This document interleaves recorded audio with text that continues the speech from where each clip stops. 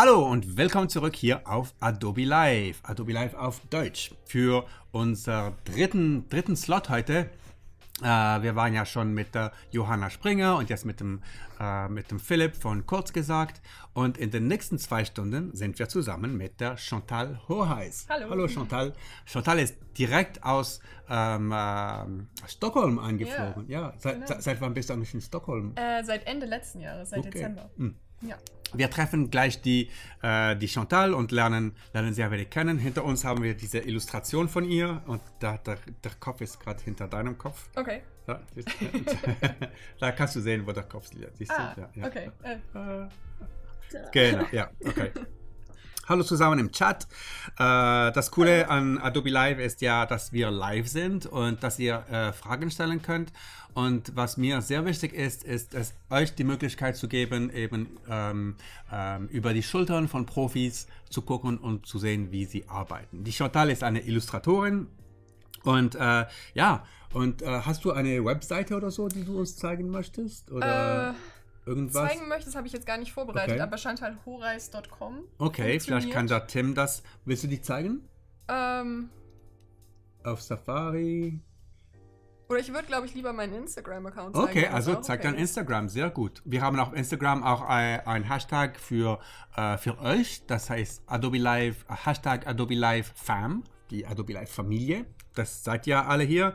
Ähm, hallo Luna ist wieder zurück, Hannes, Eva, Anzi Art, Jacqueline Hyde, Ines, Katharina. Hallo, hallo, hallo, hallo, willkommen zurück. Äh, hallo Patrick, Designerauge, Ellie, okay. Genau. So. Und da, da hatten sie eine Konversation zwischen sich selbst. Okay. Also, ah, da, chantalhoreis.com und ja, auf Instagram. Also, ich gucke, ich tue es schnell hier uns unten in die Ecke rein und ganz klein. Und dann kannst du anfangen, ein wenig zu erklären, wer du bist, was du machst Okay. und warum du in Stockholm bist. Okay, also hallo zusammen. Äh, ich bin Chantal. Ich kreiere Illustrationen, die meistens irgendwie etwas fantastischer sind und irgendwelche floralen Elemente enthalten und meistens, äh, wie man wahrscheinlich schnell erkennt, weibliche Protagonistinnen. Ähm, ich experimentiere gerne so ein bisschen mit einer Mischung aus analogem Zeichnen und digitalem Kolorieren ähm, und versuche da irgendwie eine schöne Mischung zu finden. Äh,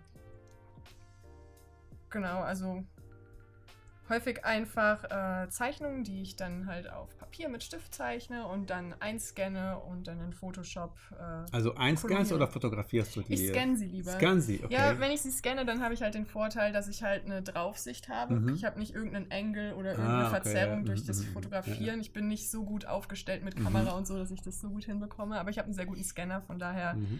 Am liebsten mit Scanner. Genau, ich zeige auch gleich, wie ich die freistelle, die Zeichnung und alles irgendwie das richtige Format bringe, bevor ich anfange, tatsächlich Farbe zu benutzen. Ähm, ja, genau. Schaue halt, dass irgendwie dieser analoge, dieses analoge Gefühl bis zum Ende in der Illustration weiterhin mit drin bleibt, Mhm. weil ich das selber ganz schön finde. Ähm, ja. So. Also, die Links zu, zum Instagram hat der Tim schon im Chat reingetan und auch zu deiner Cool. Webseite. Sehr gut. Dankeschön. Äh, hallo Thomas, hallo Viola. Ähm, okay, ja, Viola findet auch Scanning besser, ist einfach exakter. Ja, genau. Werk, Werk. Das kann ich bestätigen. Hallo, hallo zusammen im Chat. Willkommen zurück. Und jetzt, ja, und jetzt, ah, jetzt sehen wir schon auf dem Bildschirm, was du da vorhast. Genau, ich habe eine Zeichnung vorbereitet, weil wie gesagt, ich würde am liebsten zeigen, wie ich von der äh, Zeichnung, die ich in mein Skizzenbuch gemacht habe. Hast du dein Skizzenbuch hier? Äh, ich habe es sogar hier, soll ich es eben holen? Dürfen wir das angucken? Oder äh, ist das. Ja, ich glaube, da, das ist vorzeigbar. Darf man das? noch Okay. nicht, äh, das, ist nämlich, das, ist nämlich, das ist nämlich immer sehr interessant. Vielleicht kann ich die GoPro ein wenig größer machen. Hier, warte, ich mache hier eine, eine GoPro-Ansicht.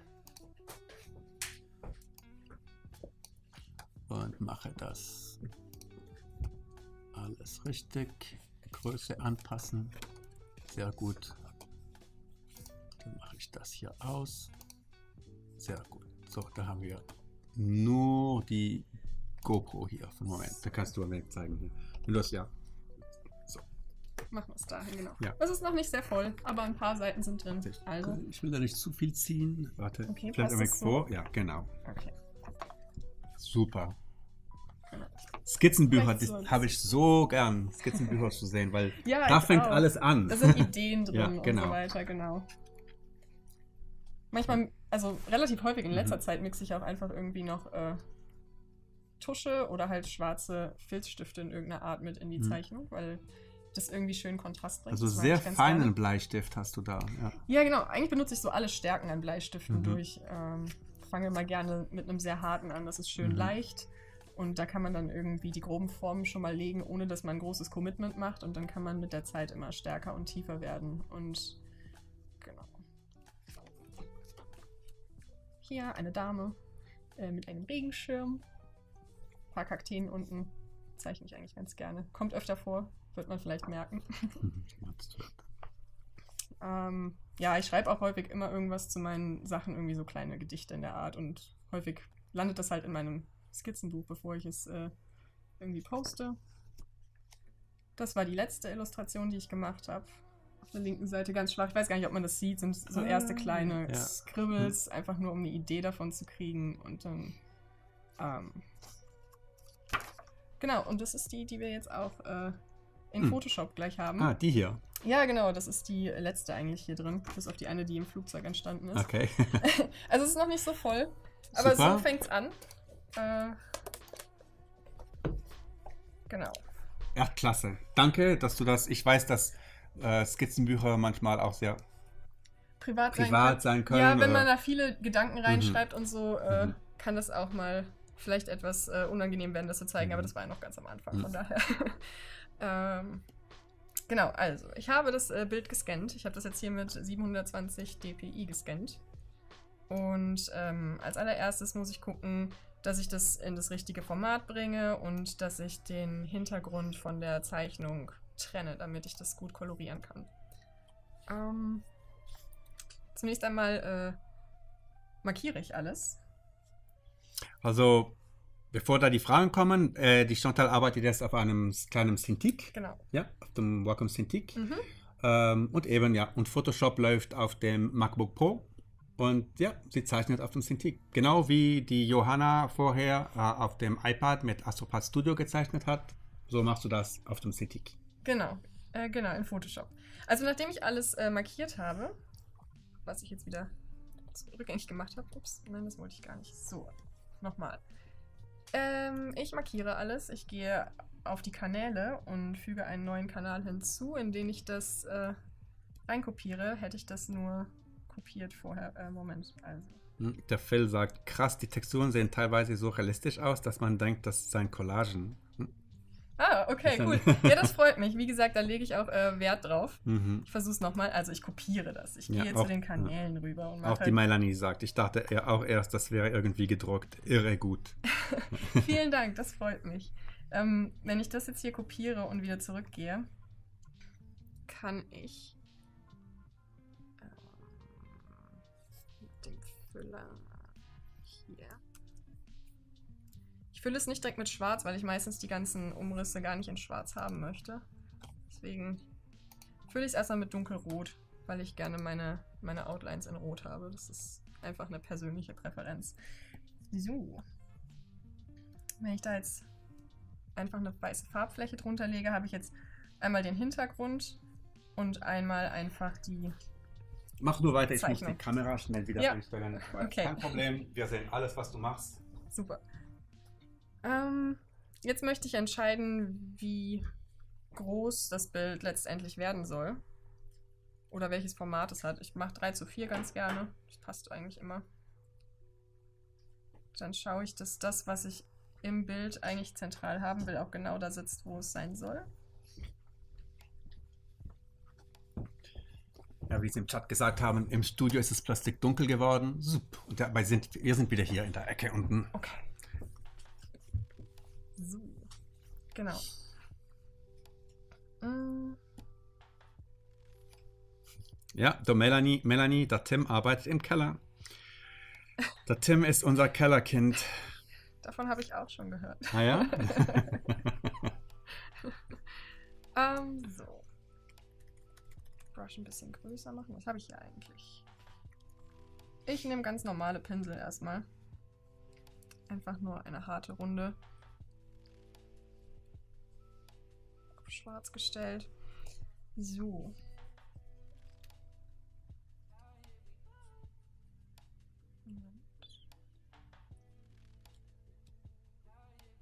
Na, was passiert hier? Du arbeitest normalerweise auf einem PC, hast du gesagt? Ja, genau. Ja. Das Deshalb jetzt, ist auch äh, Mac ein wenig neu für Sie. Aber die Programme sind ja genauso gesagt gleich. Auf Mac und PC.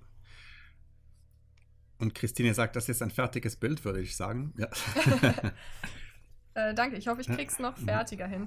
Ich brauche gerade mal kurz Unterstützung. Äh, Deselect. Ich habe das jetzt hier selected. Normalerweise äh, selecte ich einfach daneben und dann Ja. äh, passt das. aber Aber, du, äh, klick einfach irgendwo hin auf dem Bild. Nein? Ah. genau, ich habe eigentlich Esk. Escape. Ja, jetzt klicken. Ah. Was ist jetzt? Das ist alles Selektion. Nein. Ha, ich hab's. Ah, Okay. hast es? Okay. Vielen Dank. So, passt. Nein, jetzt ist wieder. Ach Gottchen. Ähm, Command D. Sagt Daha. Apfel D. Ja. danke. Aber es kommt wieder, Danke. sobald ich auf die Ebene klicke. Ah. Ah. Moment. Ah, weil es, ein, weil es, ein, weil es eine, eine Maske ist? Es sieht aus wie eine Maske. Es ist eine Maske, genau, aber eigentlich hätte ich. Mach Command D. Okay. Normalerweise kann ich auf die Maske klicken und dann auf ihr malen, richtig? Ja. Genau. Äh, ja. Es äh, zeigt immer noch den. Äh, Bild klicken, nicht auf die Maske. Von vorne an, Ja. Fläche oben rechts, also hier jetzt sehr leid. Kein Problem. Dankeschön. Etwas hockt mit. Ich habe leider immer noch das gleiche Problem. Ich krieg nicht mal mehr das Füller-Tool. Ich bin immer nur hier drin und ich weiß nicht wieso. Ich, Ah. ähm, Okay, da müssen wir dem Internet fragen, was das sein könnte. Ähm, der Stream ist, er ist instabil. Der Stream ist jetzt, sollte eigentlich wieder gut sein jetzt. Sein, ja. Wir haben ein wenig schlechtes Internet im Moment hier. Ich weiß auch nicht warum. Schneit es draußen? Nein. Auch kein Nebel.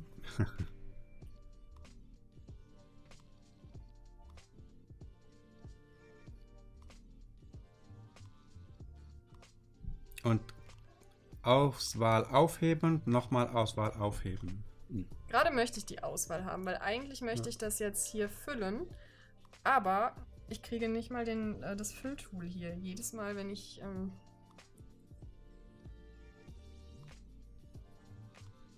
Doch, es hat funktioniert. Okay. Das hat funktioniert. Sehr gut. Ähm, jetzt.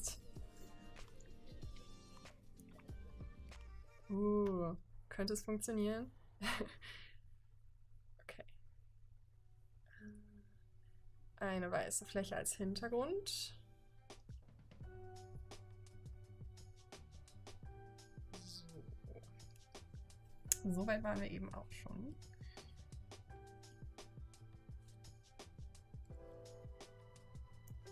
oh, der Stream ist wieder gut, sagt YouTube. Alles ist gut in der Adobe Live Welt. Sehr gut.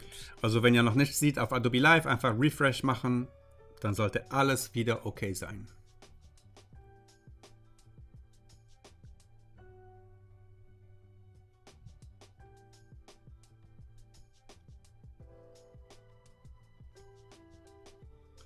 Okay, jetzt Finger kreuzen. Ich würde gerne das Tablet einmal ausstecken und nochmal neu Okay. andingsen, weil es funktioniert am Rechner, Mhm. so wie ich das gerne möchte, aber äh,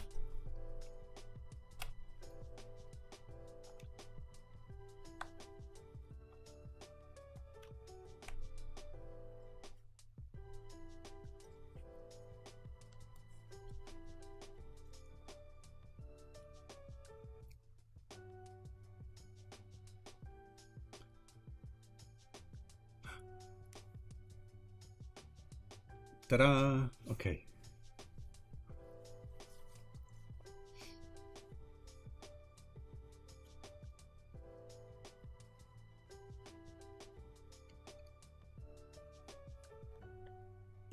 Ihr seht, eigentlich habe ich den Pinsel hier ausgewählt, Mhm. aber ich kriege den nicht angezeigt. Hier kriege ich. Hier kriege ich ihn. Sobald ich hier mit dem Tablet Ah, hingehe, ist okay, dann hat es was mit dem, Cintiq zu tun mit irgendwie. dem Stift. Drückst du auf irgendeinen Knopf hier? Äh, nee, eigentlich, eigentlich nicht. Nee? Ich glaube, ich gehe mal gerade in den Treiber und gucke, was passiert, wenn Ja. ich einfach. Äh, haben wir den hier schon irgendwo? Okay. Desktop Center. Mhm. Ist es das? Wir mal aufzumachen. Oder, ja, mach. Ah, da sind wir, ja. Stifteinstellungen. Hat jemand eine Idee hier? Ja, technische Probleme wie in der Schule, Uni bei Präsentationen. Mhm. Wer kennt's nicht? Ja, genau, Luna. Ähm, Doppelklick ist das, rechter Mausklick, so wie ich das Und kenne. Das Klick. ist normales Klicken. Mhm. Und so sollte es ja auch sein. Mhm. Die Empfindlichkeit. Vielleicht machen wir Doppelklickabstand der Stift. Ja, irgendwie scheint die Command-Taste gedrückt zu werden. Ja. Die ganze Zeit kann Ja. das das Problem sein. Oh. Mhm.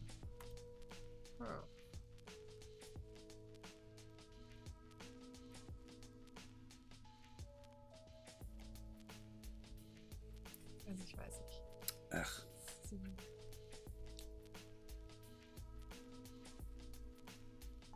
Hier ist der Pinsel.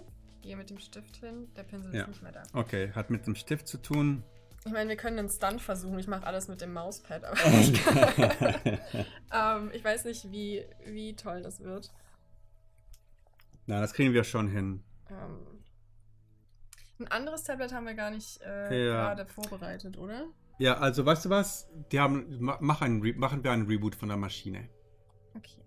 Okay, ich tue uns hier zurück auf den Hintergrund. So. Und jetzt machen wir einfach einen Restart hier. okay. Ah, Und dann, und dann einen Apfel. Und Neustart. Neustart. Genau. Bumm. Okay.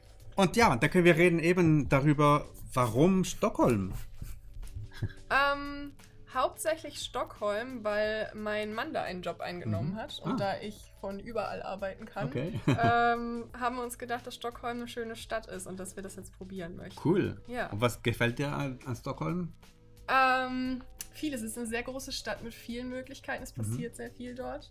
Ähm, es gibt Zimtschnecken an jeder Ecke. Was sind das? Das sind so kleine ähm, Teilchen im Prinzip Ah. mit, mit Zimt drin. Ah, Sehr lecker. Ah, okay. Ah, zu essen, okay. Zum Essen.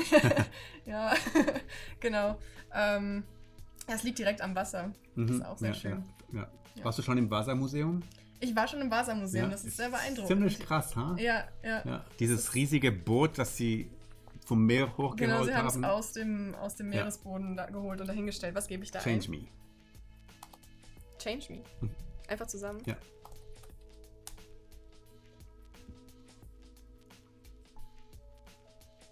So. Aber ja, Stockholm ist eine sehr schöne Stadt. Und das auf Fotografieska habe ich auch gern, das Fotomuseum. da war ich noch nicht. Ja, das ist auf der anderen Seite Nehme vom ich- Boot. Nehme ich als Empfehlung gerne Ja, an. mhm. Ja. Es gibt sehr viele Museen, sehr, sehr schöne. Also Astropart Studio könnte man eigentlich ausmachen. Mach einfach zu. Nicht erlauben. Einfach dazu machen. So. Probieren wir es mal wieder. Ja, es sieht Ah. Neustart funktioniert immer. Okay. Okay. Wieder in die Ecke runter. Zack. Cinnamon Rolls, ja, okay.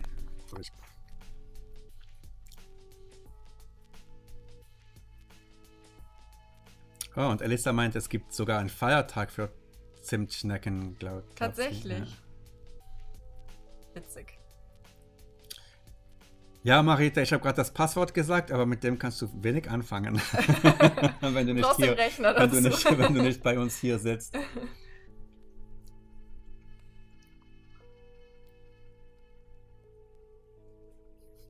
Das schreiben Sie das Passwort hier in, das, in, das, uh, in den Chat rein. Aber das nützt euch nichts.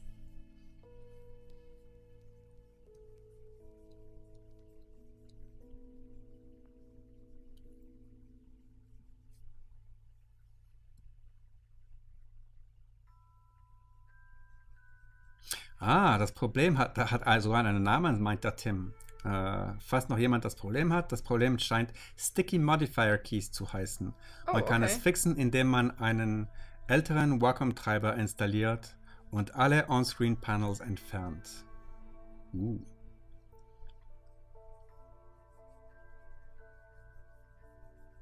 Das ist gut zu wissen. Also jetzt gerade werde ich mit der Maske einfach diesen Hintergrund entfernen, der noch irgendwie Stücke von meinem Scanner und von meinem Skizzenbuch zeigt, denn das wollte ich jetzt später nicht in dem Bild drin haben.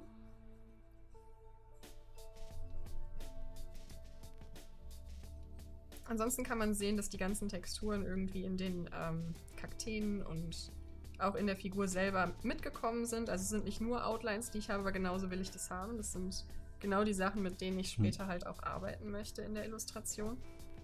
Ich habe schon viele gesehen, die einfach ihren Scan oder ihr Bild nehmen und einfach mit Multiply in Photoshop ähm, darüber arbeiten. Das funktioniert auch. Aber ich mag es ganz gerne, dass ich auch unter der Zeichnung selber arbeiten kann. Und dass ich die, ähm, die Textur und die Outlines eben auch selber kolorieren kann noch. Ich kann halt sagen, ich möchte, das zeige ich später auch, ich möchte, dass die alle eher rot sind. Oder ich könnte sie auch grün machen, wenn ich will, wie auch immer. Ich finde, es ähm, gibt dem Ganzen nochmal was, was ganz Tolles hinzu, wenn das nicht einfach nur schwarz ist und äh, Farbe beinhaltet, sondern eventuell sogar variiert. Ich mache häufig auf Haut oder auf dem Gesicht, dass ich dort die ganzen ähm, Texturen und Outlines noch rötlicher mache. Und Marco fragt dich, hast du einen Tipp zur Pinselverwaltung am Wacom Tablet? Also die Pinselverwaltung macht man doch in Photoshop, oder? Ja, hätte ich jetzt auch gesagt. Hm. Ähm, Pinsel benutze ich jetzt. Äh, ich habe jetzt keine mitgebracht, weil ich sehr häufig einfache runde Pinsel verwende. Ähm, selten, selten viele mit Textur. Was ich manchmal mache, ist, wenn ich, ähm, da ich auch sehr gerne irgendwie mit, mit Patterns arbeite, also wie man hier in dem Rock zum Beispiel sieht oder in den Kakteen sich so wiederholende äh, Muster verwende, dass ich, äh, wenn ich sowas in Photoshop kreiere, mir dafür irgendwie eine Brush mache, ganz schnell, die so einen selbstgezeichneten Stern mhm. einfach nur hat, den ich dann einfach stampen, also wie so ein Stempel benutzen kann. Aber ansonsten benutze ich ähm, sehr normale, simple Brushes, nichts, nichts Außergewöhnliches eigentlich.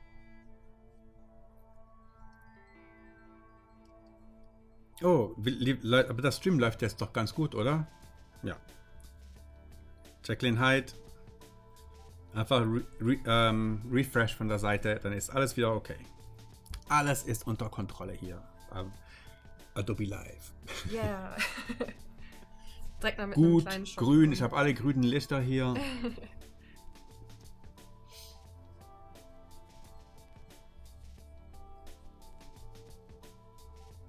Ah, äh, es geht ihm um die um diese Wacom Fernsteuerung. Ah, davon habe ich noch nicht gehört. Nein, mich auch nicht. Da weiß ich leider nichts zu. Ich benutze zu Hause meistens auch eins ähm, ohne eigenen Display. Also eigentlich eher, dass ich auf den Rechner schaue. Und ähm, das ist schon sehr, sehr, sehr cool, außergewöhnlich hier auf dem Display selber malen zu können. Hallo Marco, ja, zum, leider können wir nicht beide Chats angucken und hier äh, der Chat auf Adobe Live ist viel kontrollierbarer. Da kann da eine große Übersicht. Da ist auch der Kalender für die drei Tage, Infos über die Gäste und so. Alles, was wir in, äh, in YouTube nicht machen können. Und deshalb ist es für uns viel einfacher und für euch eigentlich nicht so ein Problem, da schnell mit dem Adobe ID einzuloggen. Mit dem gratis Adobe ID muss ich sagen auch. Ja, das kann man auch machen und da einfach einloggen und mitmachen.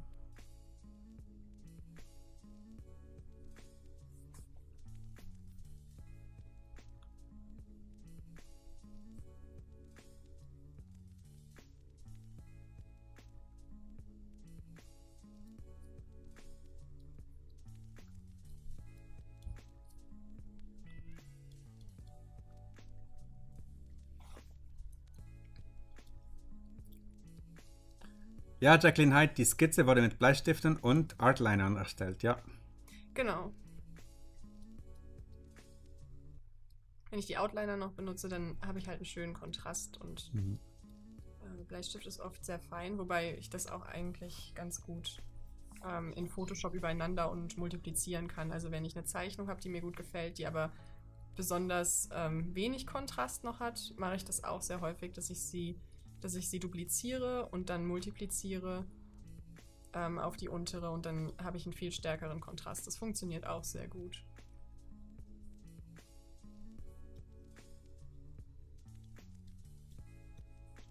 Ah, ähm, okay, Marco meint, äh, ich wechsle erst äh, oft zwischen äh, weichen und harten Pinseln und unterschiedlicher Stärke. Okay, das kann man ja mit, ähm, mit äh, Option Command machen und dann hoch und runter und den Pinsel größer, kleiner zu machen und äh, ähm, sanfter oder härter, oder? Ähm, weiß ich jetzt gar nicht. Ich glaube, ganz viele Möglichkeiten, die Mhm, Pinsel ja. irgendwie zu kontrollieren und für sich selber einzustellen. Ähm, Ah, und die Fernsteuerung gibt beim, beim großen Cintiq, ja, wo das Rad ist, da ist so ein Ah, Rad, ja, da kann okay, man, da ja. kann man die Sachen, ja, auf diesem Cintiq sind keine Räder. wir haben kein Rad. Ähm, wahrscheinlich sind da doch, ah, da, aber ich habe so einen Teil gesehen, da irgendwie, vielleicht gibt es da so eine Fernsteuerung, die man, nicht das, hier. nein, nicht Nee, das, nein. nicht. Okay. Ich würde nochmal gerne hier die Stifteeinstellung öffnen. Und die Empfindlichkeit etwas angenehmer machen. Ich merke nämlich schon, dass mein Arm. ähm, Und Viola fragt, äh, nochmal zu meiner Frage vorhin, Chantal, seit wann arbeitest du als Illustratorin und welcher Job war bisher der aufregendste? Ähm, ich arbeite seit. mh, Also die letzten drei Jahre bis November ungefähr habe ich in einem Entwicklerstudio gearbeitet für Videospiele in Stuttgart. Chasing Carrots heißen die. Und habe dort ähm, Illustrationen gemacht und auch Concept Art. Ähm, was mir sehr gut gefallen hat, was immer Abwechslung reingebracht hat. Ich habe da ähm, viele andere Dinge noch machen können, die ich jetzt selber nicht gezeichnet habe, was ich äh, sehr spannend finde und sehr bereichernd. Ähm, und ansonsten habe ich eigentlich hauptsächlich die Sachen gemacht, die ich auf Social Media auch zeige, die ich äh, von mir aus produziere. Und äh, ja, das macht mir eigentlich am meisten Spaß.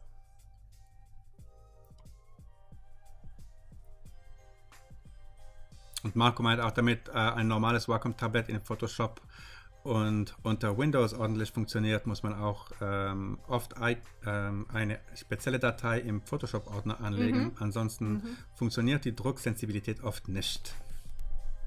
Das gab es und das habe ich auch irgendwann mal gemacht, aber es ist sehr einfach und funktioniert dann auch. Ähm, ich bin, ich muss leider sagen, es funktioniert ganz, ganz schwierig gerade noch mit dem Tablet. Naja, was denn? Ähm, ich kriege oft Lücken und es, es stockt etwas. Also Hm. ich, es geht, ich komme voran. Aber falls jemand eine Idee hat, äh, woran das liegen könnte, dann gern her damit.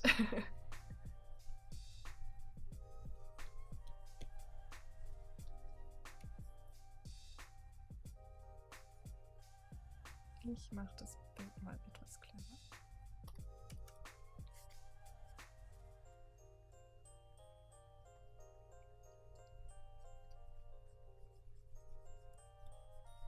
Geht's besser? Ein bisschen vielleicht.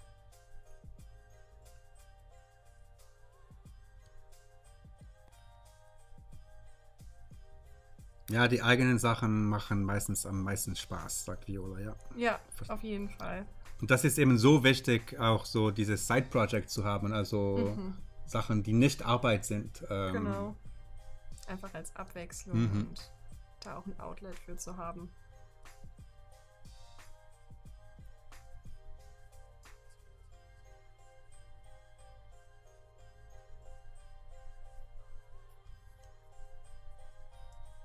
Glättung ausschalten. Ah, das könnte was sein. Mhm. Äh, wo findet man das? Also Glättung ausschalten, schnell, schnell, schnell im Chat. Ich bin nicht, im Moment nicht auf Photoshop. Ist da die Glättung 100%? Nein. Boah, Okay. Jetzt vielleicht? Fühlt sich besser. Ah, okay. Wer auch immer das gesagt hat, vielen Dank. Das sage ich dir gleich, wer das gesagt hat. Die Marita. Vielen Dank, Marita. Ah, deren Das Name, rettet mich jetzt gerade. Marita, deren Name nicht genannt werden soll, steht hier. okay, Entschuldigung, Marita, ich habe ihn ah, wieder genannt. Ah. Wir lassen das jetzt. okay. So, dann. ah ja, da gab es auch einen Blogpost besser. vom äh, Kyle Webster über die Glättung auch. Ah. Über, wenn die Brushes und so zu langsam werden und Ja. so. Ich glaube, das hat sich geändert im 2019. Okay. Ich weiß nicht warum. Ähm, Ich finde es ja generell eine coole Sache mit der Glättung. Äh, man muss nur wissen, dass man sie ausschalten muss, wenn man das Mhm. jetzt gerade nicht braucht. Also, das ging ja jetzt fix im Vergleich Mhm. zu der anderen Sache.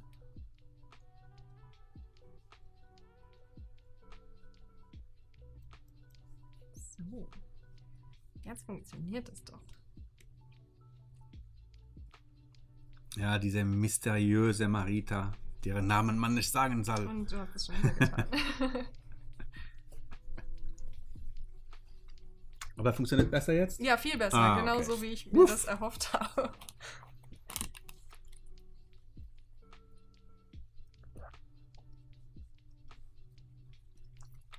Dann schaffe ich bestimmt auch mehr heute als nur Alles drei Stellen. perfekt in der Adobe Live-Welt. Live aus München.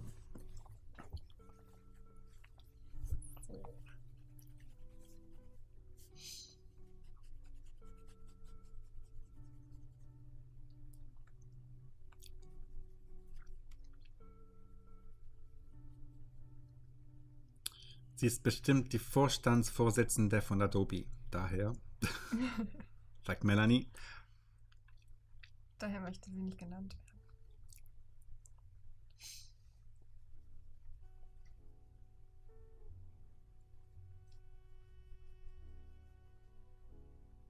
werden. Hm, Alle sagen jetzt, ja, vermutlich heißt Marita auch gar nicht Marita. ja, Tim sagt, the user, the user formerly known as Marita. Jetzt gibt's alles über Marita im Chat. Sagen wir es mal so, sie hat den Stream hier gerettet. Ja, ja, genau.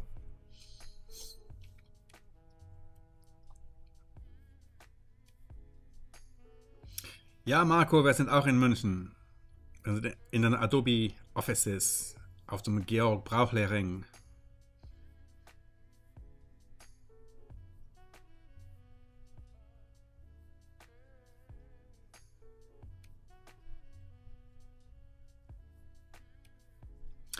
Und Alyssa meint, also du hast jetzt deine Zeichnung eingefügt und machst sie gerade etwas sauber. Sehe ich das richtig? Ja. Genau, ich habe Mhm. überall noch diese Papiertexturen und zu Anfang hatte ich Mhm. auch noch ähm, den ganzen Hintergrund vom Scannen da drin. Den möchte ich weghaben. Bin auch gleich fertig damit und dann äh, geht es auch schon daran, Farbe reinzubringen.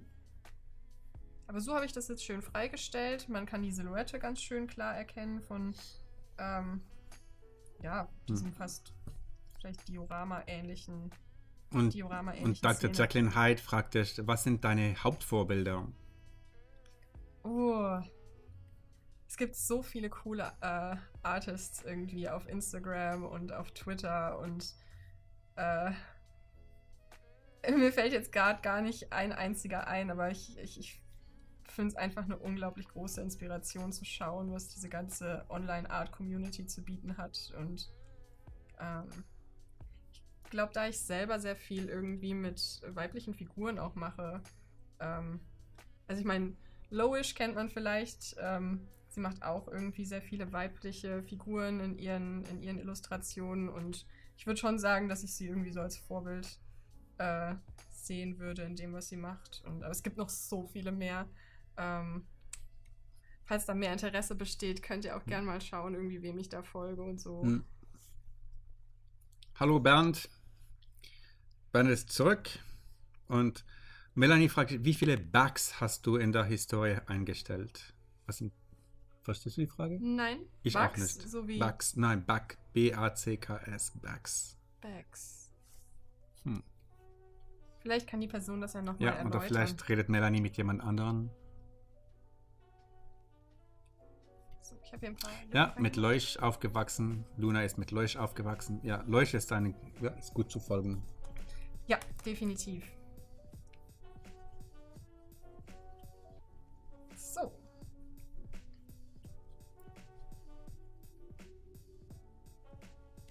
Ich glaube, da habe ich jetzt alles. Oh, wie oft man. Ah, wie oft man Command, also Steuerung Z machen kann. Das, ich weiß nicht. Kann man das. Man kann das, glaube ich, irgendwo einstellen, wie Ja. viel man da machen möchte. Mhm. Ich weiß nicht, wie viel hier jetzt gerade eingestellt ist. Ich weiß auch nicht, wie viel ich bei mir zu Hause eingestellt Mhm. habe. Ich weiß, dass es irgendwann aufhört. Ja. Aber ich, ich schätze mal, so um die 20 Mal kann ich es ungefähr Ja. machen. So ungefähr. So, was ich gerne noch habe, ist die. Ah, die Das Rückwärtsschritte. Okay, super. Ich hab's verstanden. Ähm, und ja, mit Photoshop CC 2019 kann man jetzt auch Steuerung Z machen, einfach in, um zurückgehen, anstatt in die Historie reinzugehen. Achso, aber das konnte man doch schon immer, oder? Nein, Ich benutze Ctrl-Z in Photoshop. ja, nur einmal. Nee, mehrmals. Man kann das in den. Ähm, man kann das hier in den Tastaturbefehlen einstellen. Ah, okay, also das braucht, braucht man jetzt nicht mehr. Also man konnte es auch schon vorher machen, man musste es, glaube ich, irgendwie hier in den Tastaturbefehlen Ah, einstellen, aber man ah, konnte auch ah. Ctrl-Z benutzen. Uh, wow. Wahrscheinlich ist es jetzt standardmäßig einfach drin. Ja. Also ich mag immer diese kleine Anzeige hier oben rechts noch, dann habe ich irgendwie so einen Überblick. Also. Ich möchte es nicht ganz weiß haben, das weiß ich schon mal. Ah, die, also Elisa meinte wegen der Flüssigkeit des Programms. Okay, man kann bei, bei, beim Protokoll die Rückschritte einstellen. Je weniger, desto flüssiger laufen Grafikprogramme. Stimmt, Natürlich. das Sinn, ja. Ja, weil natürlich wird für jeden Schritt, äh, jeder Schritt wird, wird in die RAM, äh, Random Access Memory, reingerechnet. Und äh, deshalb, ja. Kommt auf die Maschine drauf an.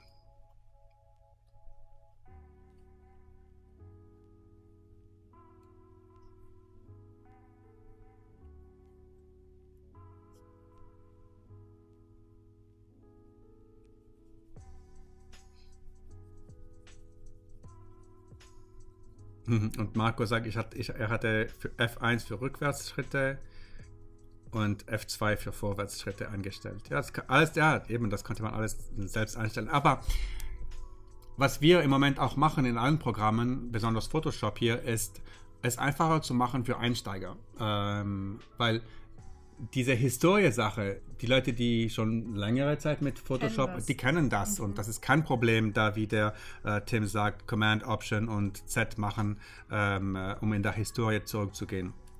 Aber für einen Einsteiger ist es viel schwieriger, das zu verstehen. Und plötzlich denkt ein Einsteiger, ey, ich kann nicht zurückkommen, ich kann nur ein, ein Command Z machen.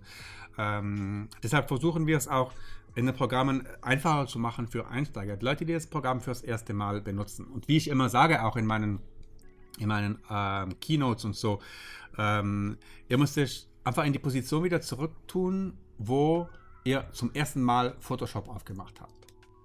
Das war schon ziemlich krass, oder? Was? Was ist das? So Sehr kompliziert. Mein Gott, Ja. oh, alle diese Sachen und so, das lerne, werde ich nie lernen.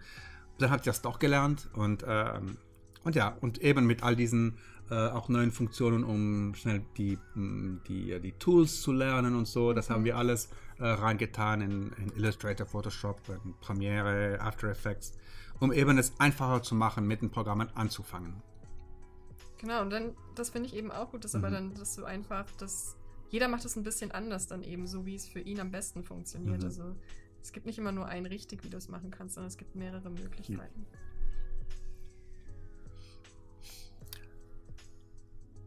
So, gerade, ähm, vielleicht sieht man das hier in den Ebenen. Ich koloriere am Anfang ganz gerne, indem ich einfach Farbflächen mache und auch die mit Masken mache. Das gibt mir die Möglichkeit, super schnell die Farben zu ändern und mich nicht direkt festzulegen.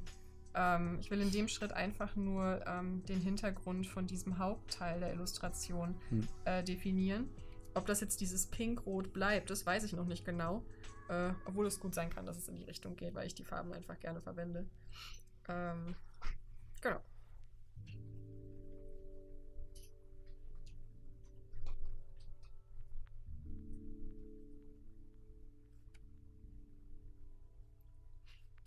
Äh, Dr. Jacqueline Hyde äh, fragt dich, äh, hast du einen vorgefassten Plan für das Coloring oder entsteht das mehr im Prozess? Mm, Ich glaube, es ist eine Mischung. Ich habe ich hab natürlich eine Idee davon, wie ich oft rangehe, wenn ich sowas koloriere. Aber ich äh, versuche auch nicht äh, so einem festen äh, Plan zu folgen, weil ich denke, dass äh, für jede Illustration irgendwie ähm, was anderes richtig sein kann. Und wenn ich mich fest an einem Ablauf halte, dann äh, versteife ich oft beim Malen. Hm. Deswegen, ähm, wie gesagt, ich kenne so meine, meine paar Tricks und Sachen, die ich gerne anwende und weiß, dass sie wahrscheinlich irgendwann in dem Prozess ähm, Teil sein werden davon, aber ich möchte nicht vorher sagen, ich mache erst das und dann mache ich das, ähm, sondern versuche es so ein bisschen ähm, spontaner zu hm. halten dann letztendlich. Ja, ich wollte, Tim, Tim sagt, ich wollte gerade sagen, wenn ich so die Gäste sehe, fühle ich mich immer noch wie ein blutiger Anfänger. Aber ja. Und ah, danke Christine, das ist sehr nett. Äh, Christine, das, das wird jetzt auch wirklich gut erklärt. Auch die Online-Tutorials sind sehr gut. Ja, da steckt sehr viel Arbeit dahinter, um es eben einfacher zu machen für diejenigen von euch, die gerade anfangen mit Photoshop zum Beispiel.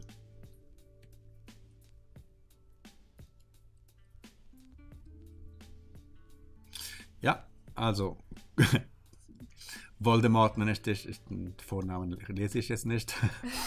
ähm, ähm, ja, also du findest es doof, dass man nicht wieder in die, äh, die alte ähm, Einstellung, um, äh, das, warte, Einstellung umstellen kann in den Präferenzen. Ja, das finde ich auch.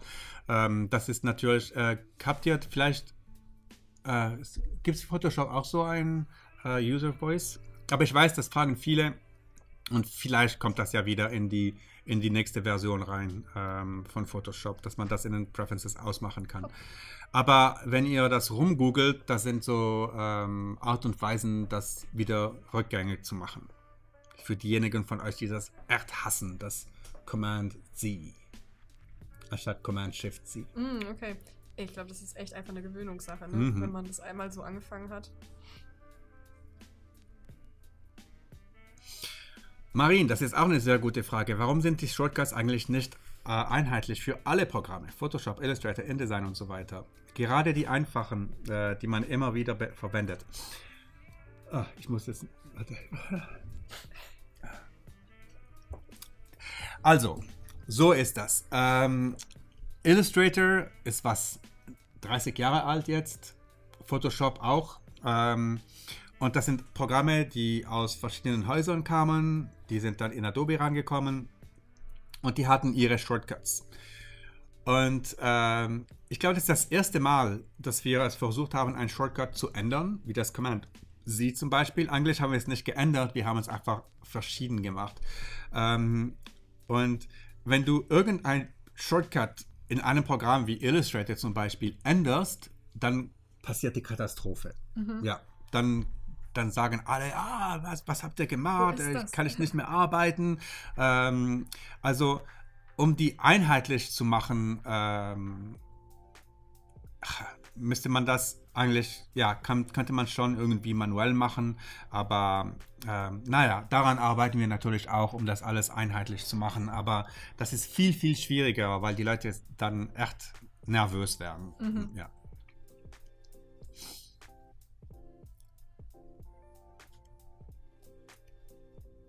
Ja, man kann die Shortcuts umstellen, sagt Alessa ganz richtig. Ja, genau, wenn man hier auf Bearbeiten mhm. geht und dann auf Tastaturbefehle. Da kann man die einstellen unter verschiedenen Kategorien. Kann man hier dann angeben, wo man die setzen möchte. Sehr praktisch. Mhm.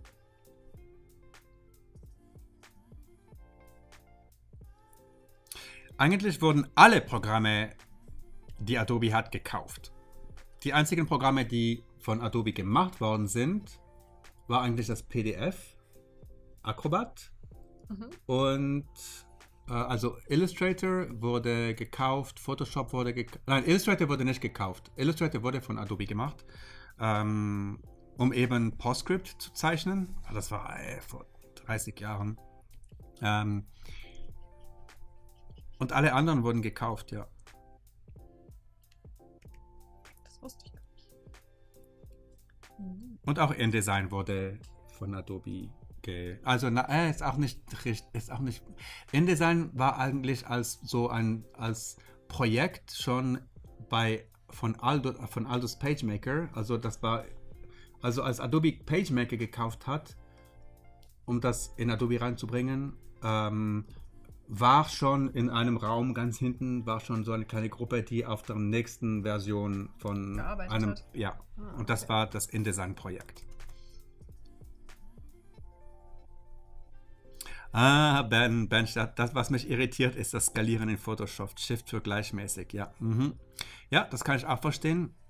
Und das war auch so ein Versuch, um zu sehen, äh, weil normalerweise willst du alles in Photoshop ähm, äh, in Proportion skalieren. Meistens, ne? Es Ja. Meistens, ja. Ist, kommt Da- eigentlich nicht vor, dass man die. Ja, selten. Aber ja, eigentlich, sehr äh, selten, ja. Und das ist auch so, eine, ja, ich verstehe, ich verstehe. Aber hey, das ist doch nicht so earth-shattering. Wie sagt man das auf Deutsch? Earth-shattering. Das Ah. alles. weltbewegend oder Mhm. weiß es nicht.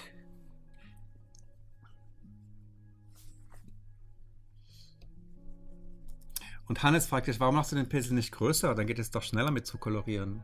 Ich weiß, aber dann komme ich nicht so gut in die Ecken. Also du hast vollkommen Ah, recht. Ich ja. sollte am Anfang den größeren verwenden.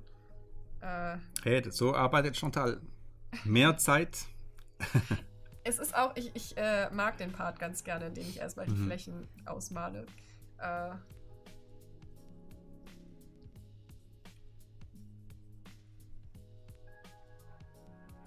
Gebe ich ja zu. Aber ich arbeite jetzt ein bisschen mit einem größeren und gehe dann in die kleineren Ecken. Ja, gesa genau gesagt, Voldemort, das, ja, da gibt es so ein PS-Konfigurator TXT, dass man das zurück ändern kann. Ja, Ben, ich verstehe. Ich mache auch immer Shift und dann geht alles. Dann muss ich mich dran erinnern. Nein, jetzt einfach ziehen und das geht proportionell. Mhm. Da gewöhne ich mich auch gerade noch dran.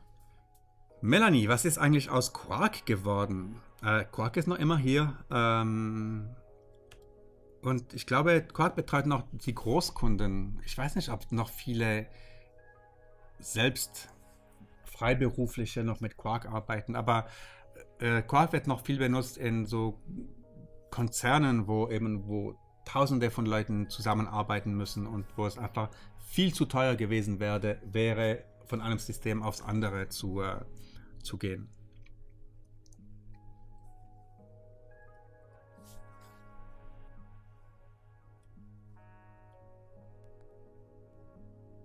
Ja, Melanie, daran erinnere ich mich auch, die Einführung von InDesign. Also ich muss ganz ehrlich sagen, InDesign 1 habe ich aufgemacht und gleich wieder zugemacht. da habe ich gesagt, okay, nein, ich bleibe mit Quark. Und dann kam aber InDesign 2 raus und da hatten sie Ebenen, da hatten sie äh, direkt Photoshop und Illustrator Import und solche Sachen. Da habe ich gesagt, was? Wenn das funktioniert, dann, dann ist mein Leben viel, viel verschieden.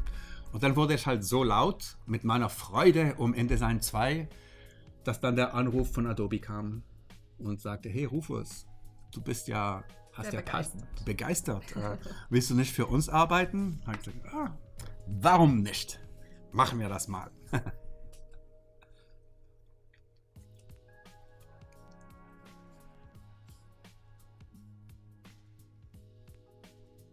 Marien, ich lieb, Marien sagt, ich liebe diese Art der Kolorierung. Erst alles im Skizzenbuch vorzeichnen mit Bleistift und dann in Photoshop kolorieren. Mhm. Ja, geht mir genauso.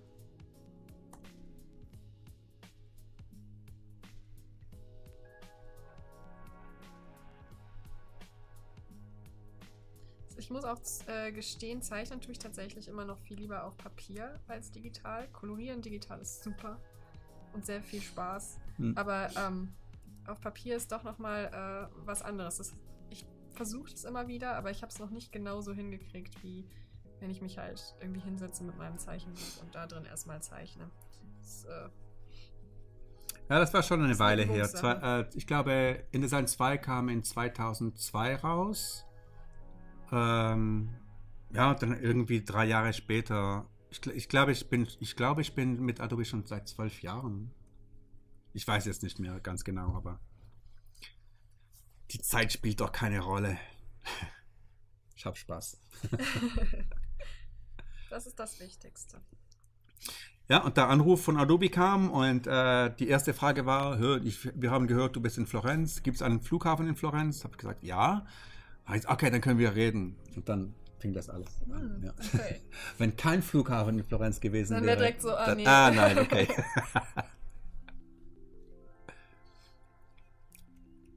Hm, Chunky. Wenn man mit InDesign auch mathematische Formen angeben kann, wäre es super. Ja, das finde ich auch. Aber das ist so eine Sache. Da gibt es ja Plugins dafür, äh, um das zu machen. Äh, jetzt weiß ich nicht mehr genau die Namen davon. Aber ähm, das ist so eine Sache, die so wenige äh, von unseren Usern eigentlich machen, dass es viel besser ist, dass ein Plugin-Developer da ein gutes Plugin dafür macht und das dann ähm, separat verkauft für äh, Leute, die eben Formeln machen.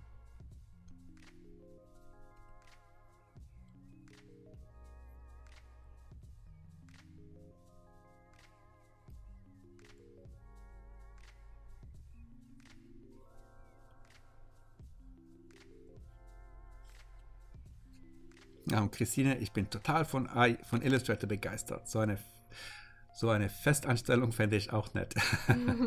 Gibt's bei dir einen Flughafen? Ja, Das gibt's. ist die Frage.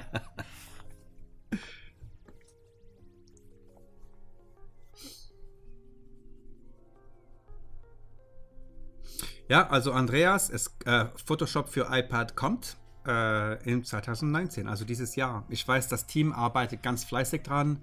Äh, nicht nur Photoshop für äh, iPad, aber auch ähm, Project Gemini. Das ist so ein Zeichenprogramm, Hm, okay. das, Bin ganz gespannt auf das, Photoshop. das beides machen kann. Ähm, also Pixel zeichnen und auch Vektoren zeichnen.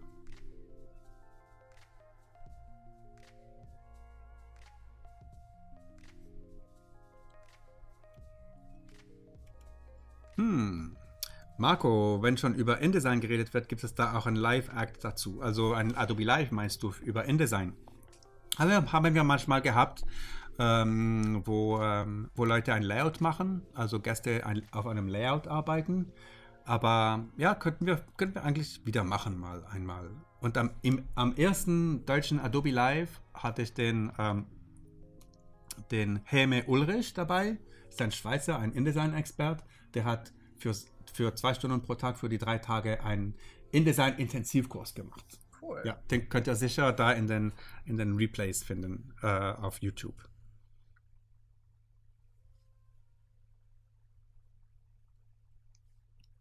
Mehr der Ideen sagt, hier gibt es auch einen Flughafen, obwohl, der, obwohl es zum Georg-Brauchler-Ring eher zu Fuß einfacher ist. Und Melanie fragt dich, kopierst du die Maskenebenen und arbeitest dann die Teile aus, äh, die du einfärben möchtest? Kopiere ich die Maskenebenen und arbeite sie dann aus? Nein, ähm, nachdem ich hier diese grundlegenden Farben gesetzt habe, ich äh, werde Mhm. später einfach nicht mehr in den einzelnen Sektionen denken. Wenn ich ein gewisses, äh, eine gewisse ähm, Level, ein gewisses Level in der Ausarbeitung erreicht habe, arbeite ich einfach auf einer Ebene überall und wechsle die Ebene, sobald ich denke, okay, ich möchte das hier erstmal für sich belassen und weitermachen. Mhm. Also dann, dann trenne ich das nicht mehr so arg. Ich brauche diese Trennung eigentlich nur am Anfang, wenn ich so grundlegend Farben suche, dass ich da halt einfach äh, die Farben voneinander trennen kann und später ähm, ist das für mich gar nicht mehr so relevant. Genau. Ah, Robert, ja, in Leipzig gibt es auch einen Flughafen, da kannst du anfangen. Und Elissa, danke. Äh, ich habe, äh, sie hat gerade die benannten Cinema-Palette gefunden, die, die Johanna erwähnt hatte äh, heute Morgen. Und das sind die, äh, die ah, Twitter.com ist ein Twitter, ähm, Cinema Palettes. Ah, da nehmen sie die Farbpaletten aus den Filmen und machen eine Farbpalette. Oh, Wie cool. ein Wes Anderson-Film zum Ja. Beispiel, wa- was für Farben da drin Ah. sind. Ja, das klingt gut. Mhm.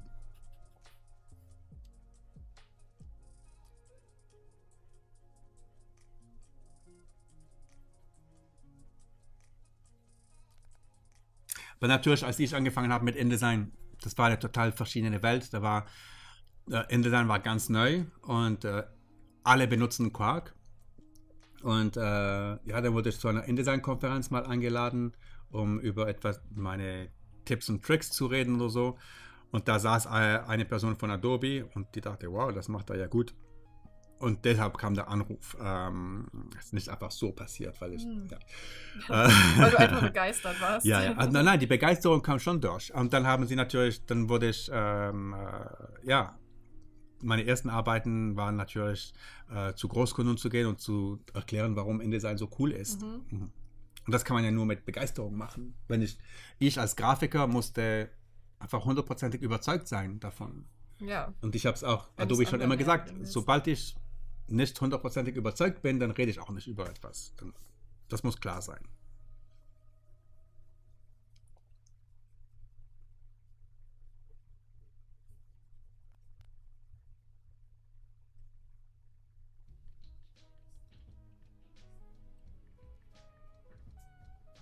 Oh, Tim, kannst du mir ein E-Mail schicken mit dem Portfolio von mehr der Ideen?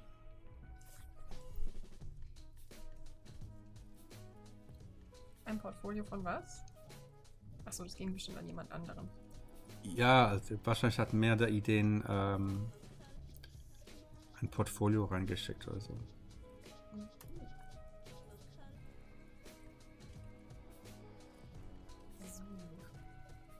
Wo kann ich das Startfenster in Photoshop deaktivieren?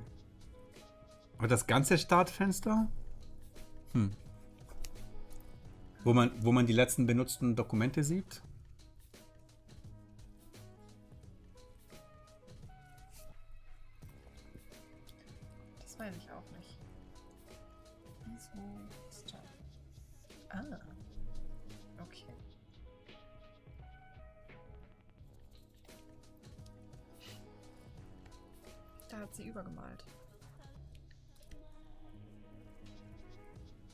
Startbildschirm, ja. Voreinstellungen allgemein. Okay, Startbildschirm deaktivieren.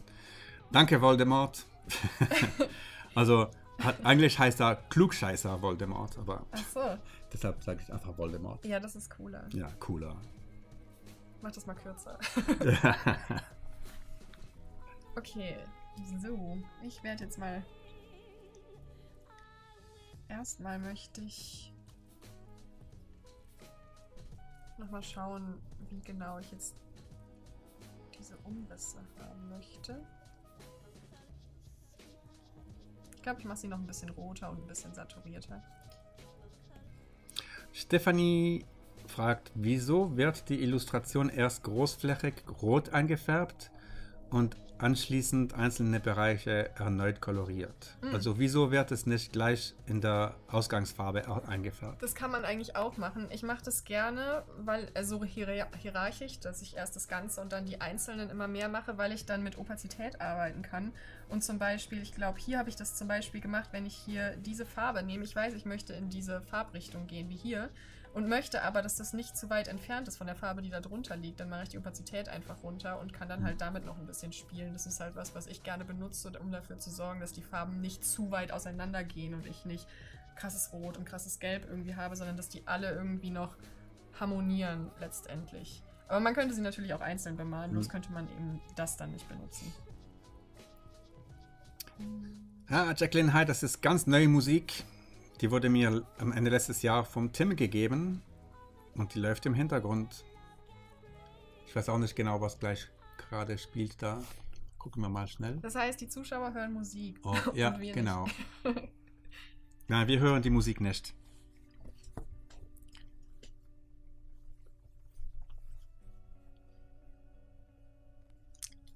Chill Pop Essentials. Oh, okay. Da, Tim hat es schon reingeschrieben. Chill Pop Records, Chill Hop Records und Andrew Apple Pie.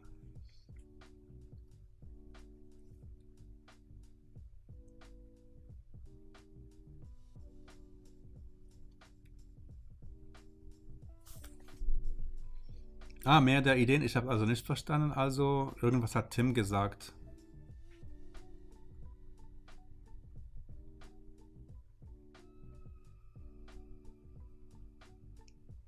Tim sagte mehr der Ideen. Wow, nicht schlecht. Vielleicht sehen wir dich ja hier als Gast. Hm. Also Tim sagt mir schon, was da los ist.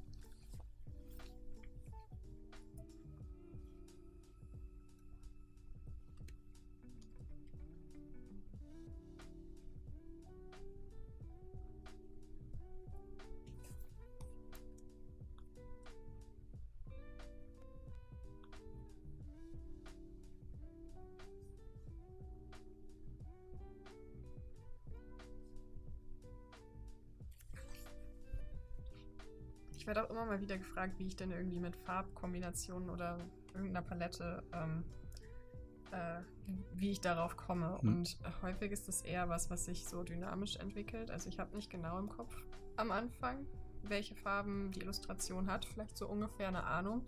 Aber es ist häufig tatsächlich ein, ich fange einfach mal an und ich mache einfach mal und nehme eine Farbe. Und ich habe ja in Photoshop die Möglichkeit, unglaublich viel daran zu ändern im Nachhinein. Hm. Und so arbeite ich eigentlich ganz gerne. Das ist sehr viel einfach nach Gefühl. Und du bist so eine, die die Ebenen nicht benennt. Richtig. Ja, Und das wird irgendwann sehr chaotisch. genau. Johanna war ganz präzise Oh, und echt? jede Ebene hat den Gut, dass ich das noch nicht Namen. angeschaut habe, sonst wäre ich total nervös geworden, wenn ich das gesehen hätte.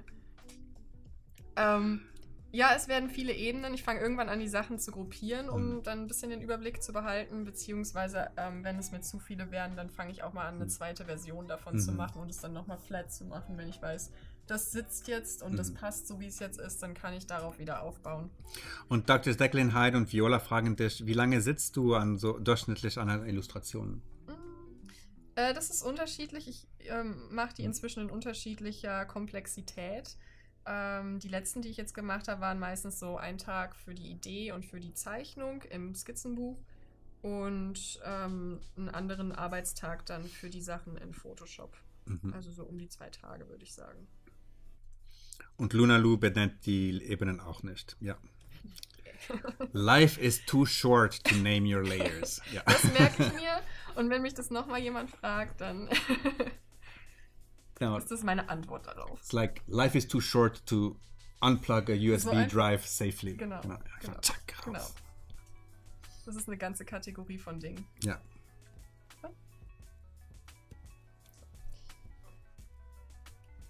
Ah, mehr der Ideen, danke. Sagt, er macht das ganz sympathisch, gefällt mir. Unbenannte Ebenen. Oh. Ups. Ah ja, die Sache da an der Seite, Ah ja, die kommt mhm. manchmal rein. Ich Ah, äh, manchmal, okay. mache irgendeine Geste hier auf dem Ah, Tablet okay. und dann passiert das.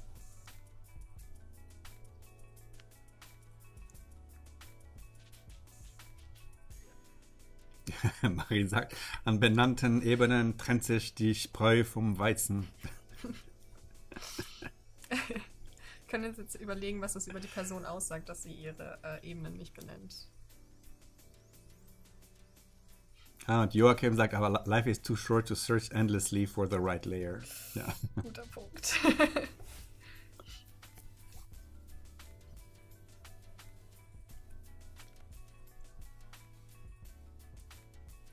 Aber noch ist hier alles ganz übersichtlich. ja.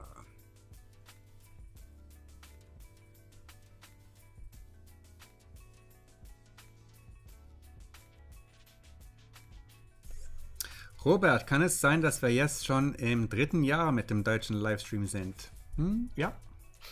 2017 haben wir angefangen. Anfang 2017? Ja. Ich glaube, aber das war im Mai oder so. Und das war noch in Paris, als ich das Studio in Paris Ah, hatte. okay. Das war sehr cool für die Gäste, weil die Gäste alle nach Paris kamen. Hm. Mhm. und das Adobe-Büro ja, da läufst du fünf Minuten und siehst einen Eiffelturm. Das ist auch nicht schlecht. Ja. Aber hier kann man die Alpen sehen. Hier kann man die Alpen sehen, wenn das Wetter es erlaubt, ja. Ich habe gerade die Alpen gesehen.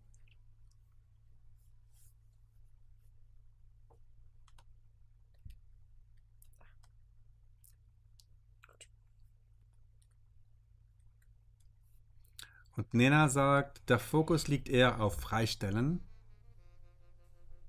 Also Freistellen von den Ebenen. Ähm, ja, gerade so in der Mhm, Anfangsphase, ja. das kann man sagen. Mhm. Also eigentlich trennt sich das schon bei mir so ein bisschen in dieses Freistellen am Anfang und dem Definieren von den äh, einzelnen Flächen und geht tatsächlich aber irgendwann auch wirklich Mhm. in Painting über. Mhm. Das ist also einfach sehr hilfreich für mich am Anfang. Und das Steven sagt ganz richtig, ähm, die haben schon un unterschiedliche Namen. Layer 1, Layer 2, Layer 3. Ja, natürlich, genau. Wir wissen genau, was auf Layer 1 ist, Layer 2 und so weiter. Also nur um zu sagen, letztes Jahr habe ich einfach gerade die, die Nummern angeguckt und äh, da haben wir, in 2018 haben wir 240 Stunden lang Adobe Livestream gemacht. Wow. Ja. Ja. 240 Stunden und 320.000 von euch habt ihr, habt ihr euch das angeguckt. Danke. Wie ich immer sage, ohne euch wäre das nicht möglich.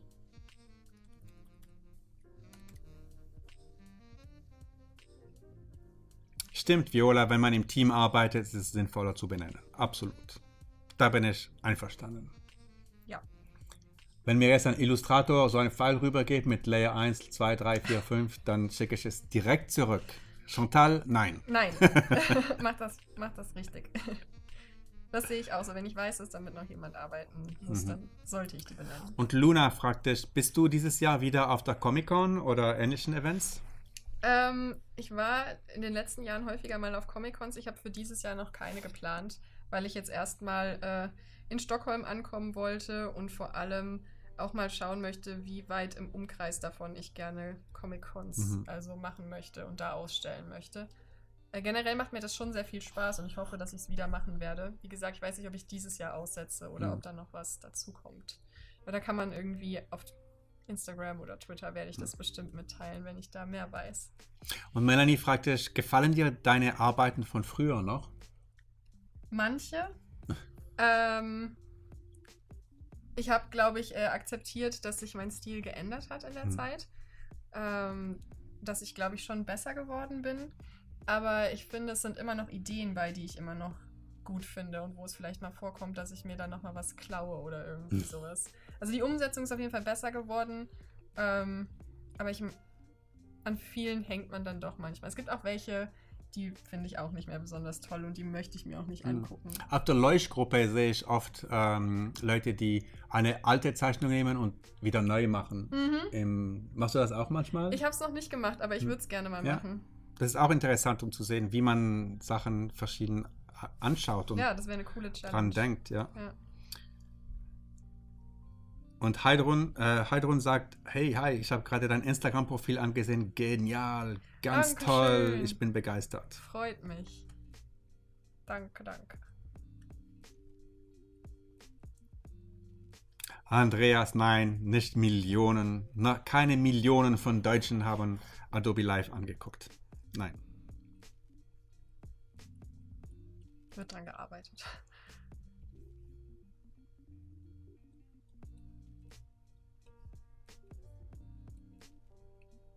Ja, mehr der Ideen, das stimmt, was er Photoshop faszinierend findet, was er mit Photoshop faszinierend findet.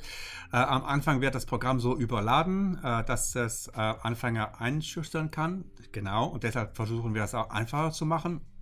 Aber dann ergeben sich so viele Möglichkeiten aus sehr vielen Möglichkeiten, möglichen Arten und Weisen. Ja, also zum Beispiel hier sehen wir oft Illustratoren, die Photoshop benutzen. Manchmal haben wir, äh, wir hatten den Lasse, Lasse Benke ähm, im November dabei. Das ist ein äh, Photocompositor, also der mit Photoshop Bilder zusammen macht und neue Bilder Mm, daraus macht. Das war auch super. Äh, natürlich äh, benutzen Leute Photoshop für Retusche von Bildern und so. Ähm, ja, und ähm, um 16 Uhr sehen wir den, den Gürel Shahin. Der äh, arbeitet dann mit seinen Fotografien von den Dolomiten äh, in Lightroom.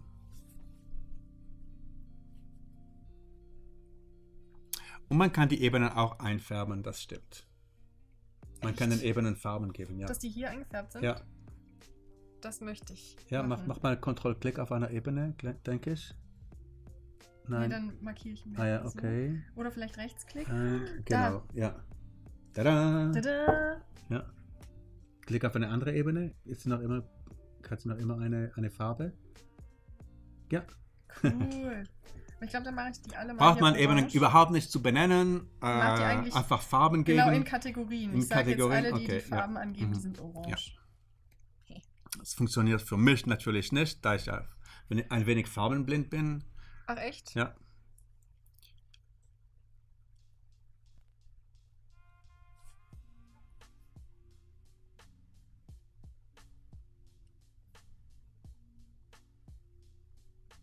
Oh, Stefan. Stefan sagt dir, okay, ich finde es sehr charmant, dass du noch analog illustrierst. Mache ich ebenso. Fürs Kolorieren könnte ich aber auf Photoshop nicht mehr Verzichten. nicht mehr verzichten, ja. Schon Ja. wegen der Rück rückgäng ja, rückgängig, ja. Ja, dann passiert es dir ja wahrscheinlich auch mal, dass du Mhm. auf einem Blatt Papier malst Mhm. und denkst, Ja, ah, okay. Mist, Control Ja, Z. und und er dann hat, denkst du so, er hat circa ah, 350 Schritte eingestellt. Wow. Okay. Ja, mir passiert es manchmal, dass ich dann analog male und denke, jetzt kann ich Ctrl Z machen, aber das funktioniert dann nicht. Ups. Mhm. Tobias fragt dich, wie hast du mit dem Zeichnen in Photoshop angefangen und was war deine erste Zeichnung? Mm, Die erste Zeichnung in Photoshop. Ich weiß es nicht mehr genau. Ich hatte mir irgendwann mal ein Tablet geholt und wollte damit anfangen und habe das jahrelang nur als Maus benutzt. Keine Mhm. Ahnung wieso. Ich, ich war sehr schnell eingeschüchtert tatsächlich davon, digital zu malen. Ich habe das versucht und es hat nicht gut funktioniert und ich dachte, toll, ja, ich glaube, es ist nichts. Also hat es ein paar Jahre gedauert, bis ich tatsächlich gesagt habe, so, ich lerne das jetzt. Und ähm, ich glaube, es war tatsächlich auch eine, ähm, eine Figur, die ich gemalt habe. Ich male einfach sehr gerne Charakter. Und, ähm, ach Mist. Moment. Und ich glaube, ja, es war, glaube ich, eine, äh, ein Charakter mit roten, langen Haaren.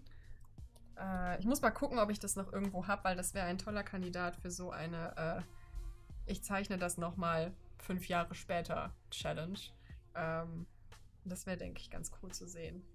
Aber ja, am Anfang, ich musste mich auch erst daran gewöhnen.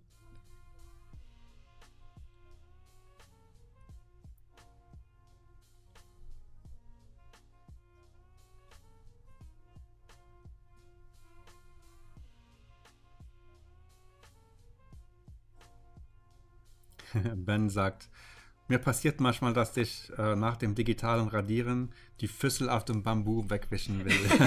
Ja, das ist die umgekehrte Version davon. Das ist auch cool. so. ja. Und hast du die Handschuhe an wegen dem Tablet oder weil du kalte Hände hast? Zum einen finde ich, dass die cool aussehen. Ah, okay. Aber äh, es hilft auch tatsächlich beim, ähm, Mhm. beim Tablet, es rutscht einfach Ja, besser. mhm. Ich glaube, es gibt auch so richtig ja, das professionelle ja, Handschuhe ja, mhm, dafür. Aber ich mag die ganz gerne. Ich trage die auch Mhm. so im Alltag und. Und ich friere gerne. Viel.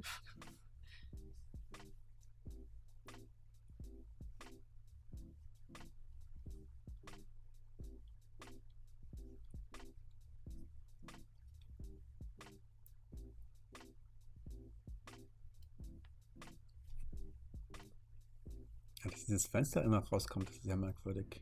Ja. Ich habe noch nicht ganz herausgefunden, was ich mache, damit das passiert, aber es liegt definitiv an mir.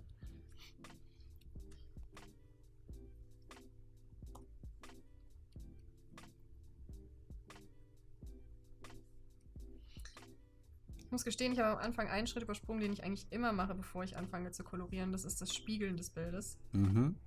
Ähm, traue mich jetzt gar nicht, das jetzt zu machen. In der Regel spiegel ich das Bild am Anfang, bevor ich anfange, irgendwas in Photoshop damit zu machen und korrigiere Dinge, die ich ähm, finde, die irgendwie off sind. Weil man häufig, glaube ich, so ein bisschen ähm, Tendenzen in bestimmte Mhm. Schrägen oder sowas hat. Zumindest mir geht es so beim Zeichnen. Und wenn ich das in Photoshop spiegel, dann sehe ich das, weil ich dann objektiv da drauf schauen Mhm. kann und ich sehe, was da irgendwie schräg ist. Ähm, Das ist so cool mit dem Spiegel, weil das, ich war, ich, ich habe ja gesagt, ich bin nach Florenz gezogen, um zu malen. ja. Und äh, da im Studio, also als wir da malten, hatten wir immer unser Spiegel dabei, Ah, okay. um umzudrehen und das Bild so anzugucken. Mhm. Ja, Und, ja. ist, glaube ich, eine sehr gängige Art. Einfach, du Mhm. kannst da Abstand dann zu dem Bild haben, Ja. auf eine gewisse Art und Weise. Das stimmt. Also es ist zu spät, um zu spiegeln hier. Das, das könnte. Äh, Ähm, ich, ich kann es am einfachsten korrigieren am Anfang, wenn da noch nichts Ja, ja, koloriert na. ist. Ähm, wir können es gerne Sagen später wir, mal hast- spiegeln nein, nein. und dann, die Chantal Sehen, hat, hat es gespiegelt. Chantal ist zufrieden. genau, Chantal ist zufrieden, hat gespiegelt und koloriert jetzt weiter. Aber nur, dass ihr es wisst, also das Mhm. ist, finde ich, eine gute, eine gute Sache, das zu machen. Ähm,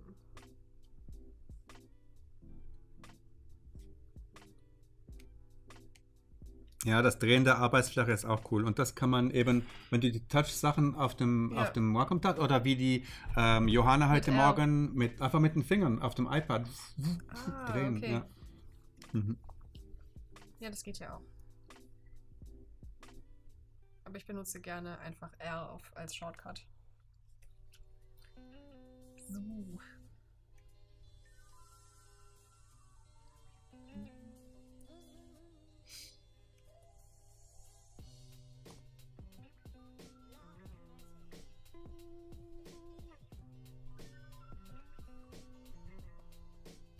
Haben ungefähr noch eine halbe Stunde. Oh, okay. Ja? Ähm, ja, ich habe ja sowieso schnell, gedacht, dass ich das jetzt über die Tage mache ja, und ja. da immer weiterkomme, aber das ging jetzt echt schneller, als ich dachte. Ähm.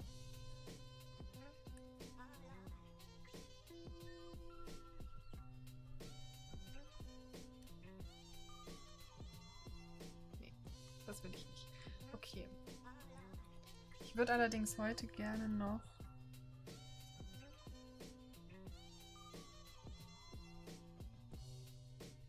hm. schon mal die erste, so ein bisschen eine Lichtsituation reinbringen.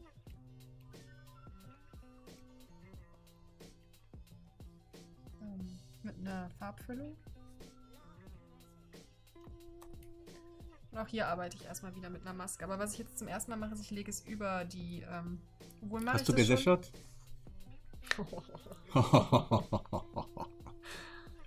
Meistens sind, seid ihr im Chat da. Ah. Äh, das, das, ist, das, ist, das macht ihr eigentlich immer. Hat sie gesichert? Hast du noch überhaupt nicht gesichert? Nein. Ah, okay. Das, das hätte ganz schön living, gehen können. Living on the edge. Yes. So, vielen Dank. ne, wir bleiben noch unter der unter den ähm, Umrissen. Aber später gehe ich auch da drüber. Also wie gesagt, die Anfangsphase ist immer da drunter. Und ich lasse das alles noch ziemlich bestimmen, was passiert, aber irgendwann löse ich mich davon. Ich äh, werde jetzt ein bisschen eine Farbsituation schaffen. Äh, oh, Daniel, Daniel K. schreibt dir. Den kennst du? Den kenne ich, ja. ja. Liebe Grüße aus Stuttgart an Chantal. Sie hat hier sehr tolle Konzepte für uns in den letzten Monaten, Jahren erstellt. Ja, genau. Äh, hallo Daniel, vielen Dank. Schöne Grüße hallo zurück. Daniel. Ähm, Richtig, also Daniel war mein Kollege bei Chasing Carrots, von denen ich am Anfang erzählt habe. Ähm, hab ähm, Chasing ein Spiele, Spieleentwickler in Stuttgart. Ja, genau. Chasing Carrots. Habe ich gern den Namen. Ich stelle mir alle Bunnies vor im Büro. Es ist sehr viel Orange im Büro. Orange, ja. okay.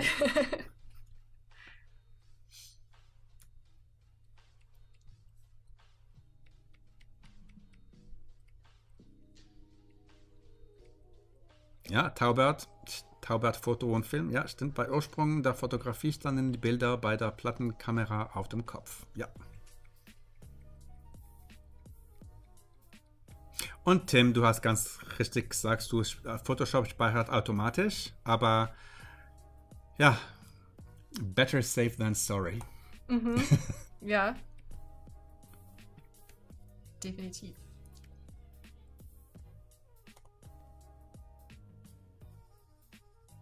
Oh, Rob, endlich wieder Adobe Live. Ich will zu euch in die Sendung. Was brauche ich dafür? Hey, schick uns ein E-Mail. Mein E-Mail ist rufus at adobe.com. Super einfach. Da gucke ich mir alles an. Einen Flughafen. Nein. Requirement number one. Ja. Flughafen wäre praktisch. Und Wolfgang meint, das Unkreativste mit den vielen Kreativprogrammen ist das Zurechtfinden äh, mit den verschiedenen Bedienphilosophien. Ja, stimmt. Ich meine, wenn man so denkt, Illustrator fing ja mit den Pfaden an. Da klick, drag, klick, drag, klick, mhm. drag. Okay. Und das machte das. Photoshop war schon immer Pixel, also äh, Pixel sprühen, ähm, Pixel bewegen. Ähm, ja. Habe mich auch mal an den mhm. äh, Vektoren versucht, aber da bin ich nicht so bewandt.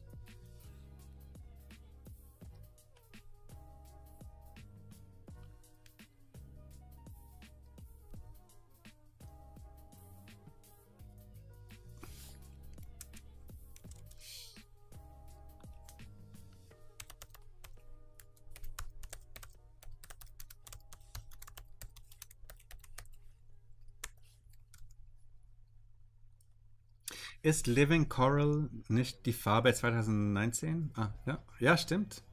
Living Coral. Die Pantone-Farbe 2019.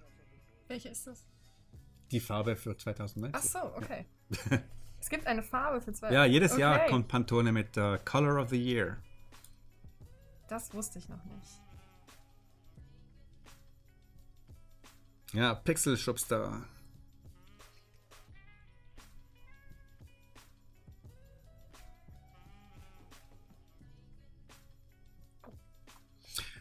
Also wie alle Sachen mehr der Ideen, ähm, äh, äh, Behance ist natürlich evolviert sich über die Zeit ähm, und ähm, hey, ich habe unheimlich viele Gäste auch für Adobe Live ähm, äh, ge gefunden für äh, durch Behance, äh, weil das ist für mich sehr einfach zu finden. Illustratoren in Deutschland oder mhm. äh, Illustratoren in Berlin oder ähm, XD-Designers in Stuttgart, ich weiß nicht. Ja. Äh, das ist super einfach zu finden.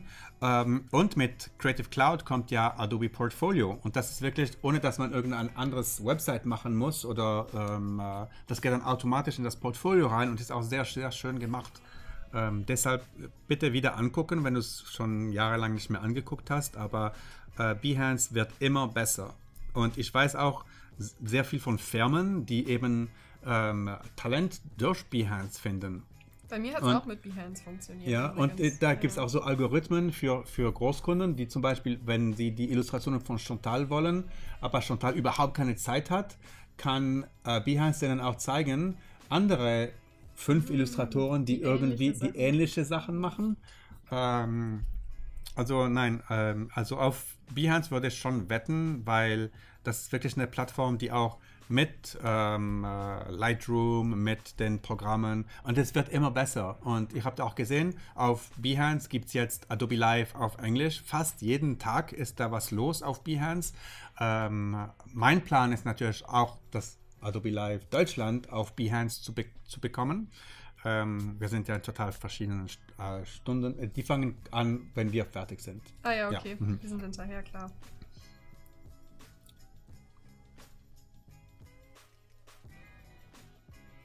Ja, genau, Herr Z. Uh, Behance ist mega. Viele Agenturen uh, schauen sich dort um. Ja, absolut.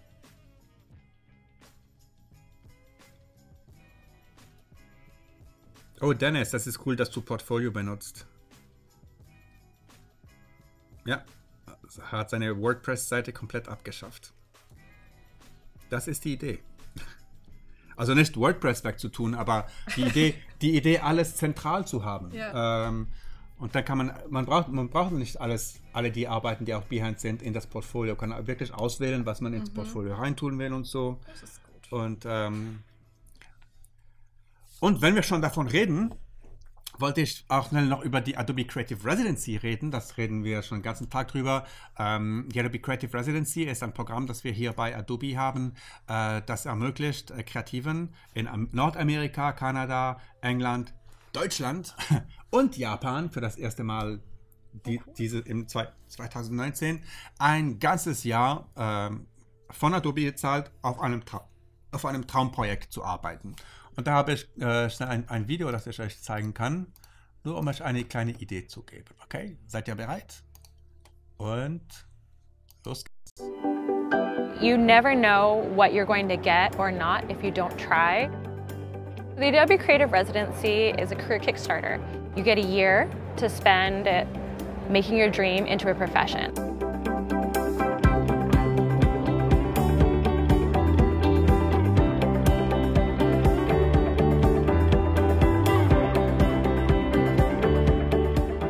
The experience of actually being able to do this project is a little magical, I think, because you're getting the chance to do something that you know otherwise would have been impossible or very, very, very hard to do. And I can also use it as like a, how you say, like a first step into like a new world for my work. You're not in this alone, it's such a crazy experience, but to have sort of a very real and very diverse support group is really refreshing. Adobe said whatever you're pitching to us, make sure it is something you're going to do even if you don't get the residency. And that to me showed me like how much Adobe really believes in creativity. They're looking for people who are pushing the boundaries of their field. So if you're not sure whether your work fits, then it's probably really, really appropriate for this residency. If you have something that you're already passionate about, go for it. The program wants to grow and reach more people and more creatives, so please apply. And I hope to see you next year as one of the residents. Peace.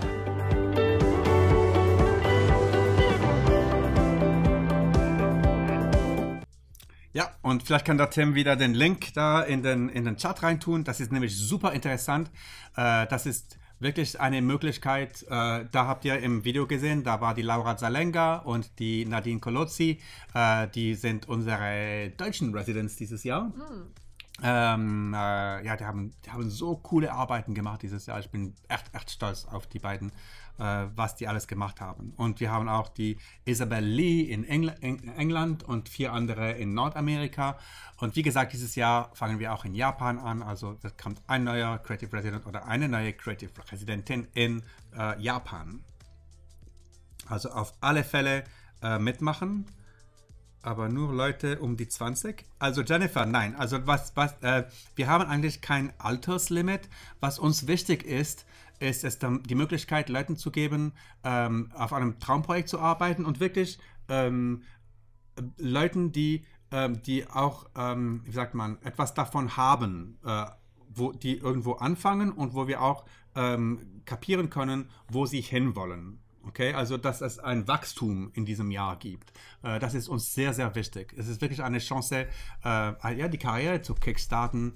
Und, ähm, und deshalb, ja, sind meistens äh, jüngere Leute, die eben auch, auch Zeit dafür haben, ein ganzes Jahr auszuschalten, weil da wird viel gereist, viel äh, auch für Adobe gereist ähm, Präsentationen gemacht. Auf den eigenen Arbeiten muss man natürlich arbeiten. Und das, das, Wichtige an der ganzen Sache ist natürlich auch das Workflow zu teilen und, äh, und eben äh, ja, zu zeigen, wie, äh, wie sie zu ihren Ideen und Arbeiten kommen.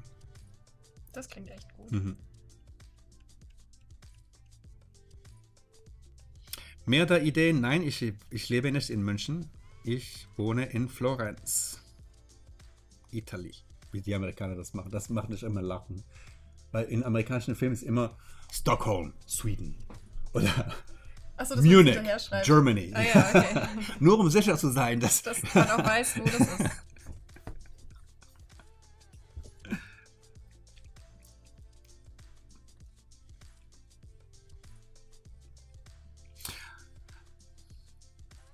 Ja, das Wachstum ist uns sehr wichtig und ähm, dieses Jahr äh, suche ich auch ähm, äh, jemand, der ähm, äh, mit, sich mit Experience Design beschäftigt und solche Sachen auch. Und vielleicht auch mit Video vielleicht, wer weiß.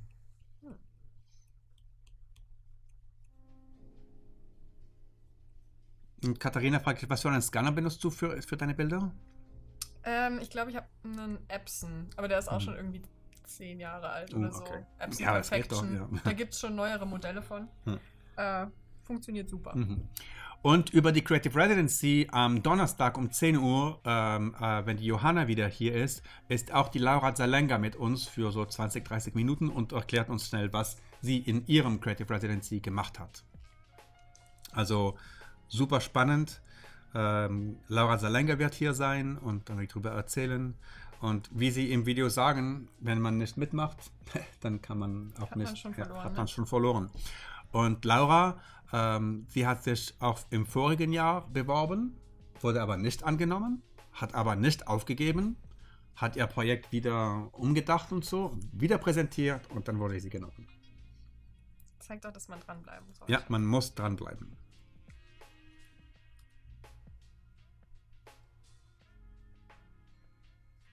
Nena ging auch für Adobe Audition. Es geht nicht so viel um die Programme, äh, Nena. Es geht um die Arbeiten, die, ähm, die, ja, die Projekte. Das Projekt von Laura zum Beispiel ähm, ist, ältere Leute zu fotografieren mhm. und dann eben mit diesen, mit ihren schönen Fotos das Altertum zu zeigen und eben die Geschichten von diesen Leuten da mit den Bildern zu haben. Oh, das finde ich ja. ein schönes Projekt. Super Projekt. Ja. Und dafür lohnt es sich natürlich auch reisen zu können. Mhm. Also was ich nicht sehen will in diesen Applications ist, okay, meine Idee ist für ein ganzes Jahr um die Welt äh, äh, reisen. Ich will nach äh, Kuala Lumpur, äh, Malaysia, äh, äh, ähm, nein, dann, dann, von dort nach Thailand und dann Australien und dann Neuseeland und dann vielleicht Nordkalifornien und dann ja, mal ganz viele schöne Fotos und so. Nein, das interessiert mich nicht. Okay, ich will Sachen haben, die wirklich ähm, Substanz, ja, haben, Substanz haben. Ja.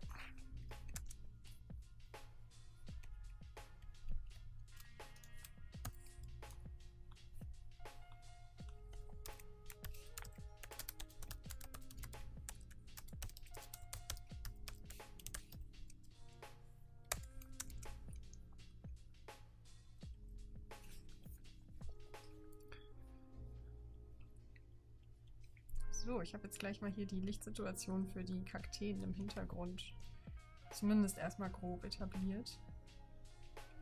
Eine, eine Frage von Julia ist, ähm, äh, benutzt du äh, denn Referenzen, wenn du zeichnest, oder ist das alles vollkommen ohne ähm, Fotovorlage oder Modell? Aber manchmal benutze ich Referenzen, aber nicht ganz, äh, also es ist nicht so, dass ich mir für alles vorher Referenzen raussuche und die dann da liegen habe. Ähm, ich benutze ganz gerne Pinterest-Boards, auf denen ich mir alle möglichen ähm, Sachen sammle, die Ah, mich irgendwie Pinterest, okay. inspirieren. Mhm, ja, Ja, mhm. genau. Und habe das gerne einfach offen. Einfach um, um auf Ideen auch zu Mhm. kommen und irgendwelche Sachen ähm, ja überhaupt erst erschaffen zu können. Und dann ist es weniger so genau, ich male jetzt dieses Gesicht oder diese Frisur. Mhm. Klar, manchmal hilft es, wenn man nicht mehr weiß, wie genau eine Hand funktioniert. Das passiert immer mal wieder. Aber ähm, es ist mehr Inspiration, die ich einfach offen habe, während ich zeichne. Ähm, zumindest während ich die anfängliche Zeichnung mache. Ist voll cool, wenn man weiß, äh, was, was man selber einfach voll gerne mag und wenn man sich eingesteht, dass man die Sachen auch in seine Arbeiten mit reinnehmen darf. Macht es einfach viel mehr Spaß.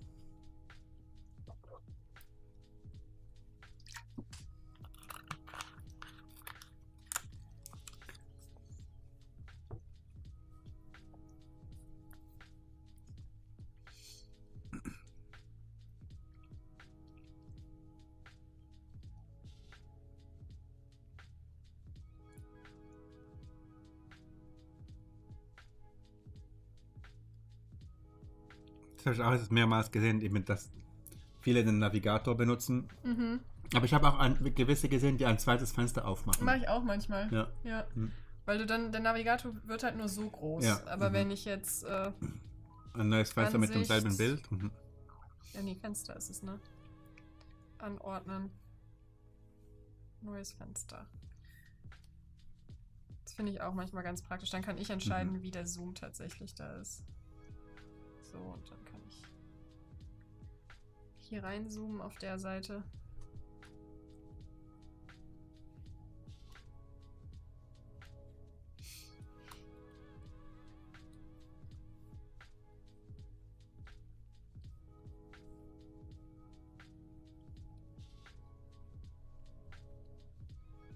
Na, und wie ist der erste Livestream?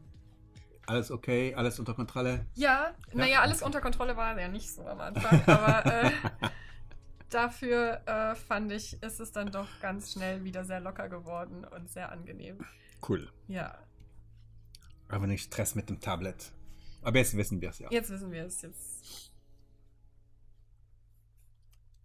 jetzt klappt das doch. Ja, könnt ihr doch mal angucken. Die Laura hat, glaube ich, auch eine ganze Webseite für diese Fotos gemacht und wo sie diese Geschichten erzählt. Ähm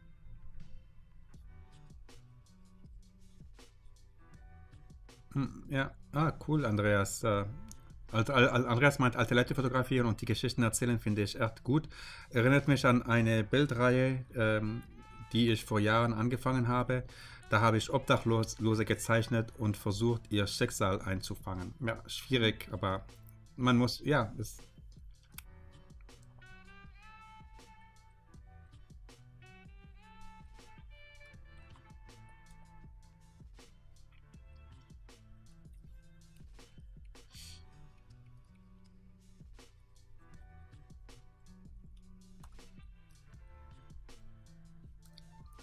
genau. laurazalenga.com, Schönheit des Alters. Oder Beauty of Age auf Instagram. Echt ein cooles Projekt. Ja, klingt Die Laura war ja mit uns auf Adobe Live vor ein paar Monaten äh, für sechs Stunden und hat auf ihren Bildern gearbeitet und davon erzählt. Könnt ihr die Replays angucken.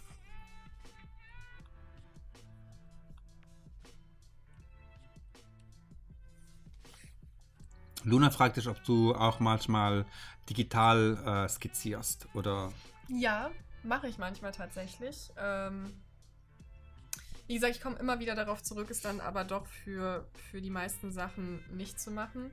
Aber ich habe so den inneren Drang, auch besser darin Mhm, zu mhm. werden. Deswegen mache ich es immer äh, manchmal auch, dass ich einfach digital komplett arbeite. Mhm. Und äh, ja, mit der Übung wird man dann tatsächlich auch besser da drin.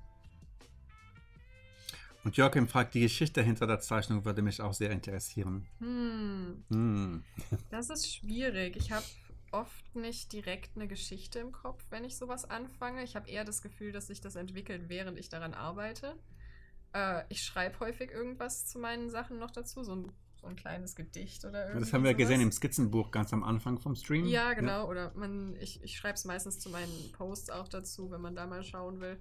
Ähm, äh, es entsteht, glaube ich, eher aus einem Gefühl heraus. Ich, äh, ich mag es in dem Moment einfach und es fühlt sich irgendwie richtig an. Oh, das klingt so, ja toll. Und was soll ich jetzt machen, Okay. Chantal? Danke für den Tipp.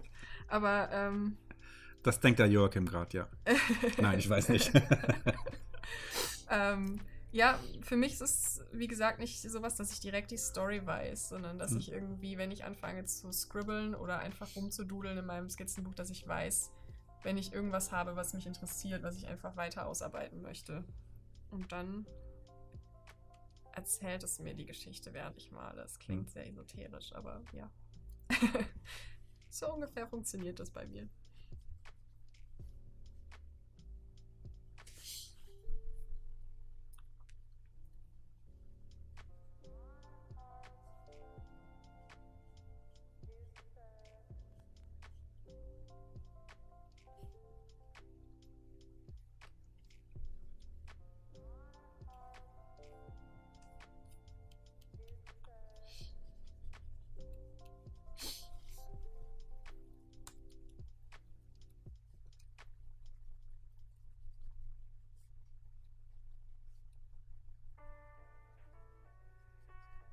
Glaube, ich mag einfach ganz gerne insgesamt so fantastischere Sachen zu mixen, aber dann so ein paar alltägliche Elemente mit drin zu haben, wie Sneakers oder einfach normale Kleidung oder sowas. Dass es nicht pur Fantasy ist, dass ich hier nicht irgendwie einfach nur einen Elf Hm. sitzen habe oder sowas, sondern dass es irgendwie diesen Kontrast hat von vielleicht Realität und was Fantastischem auf irgendeine Art und Weise. Ja.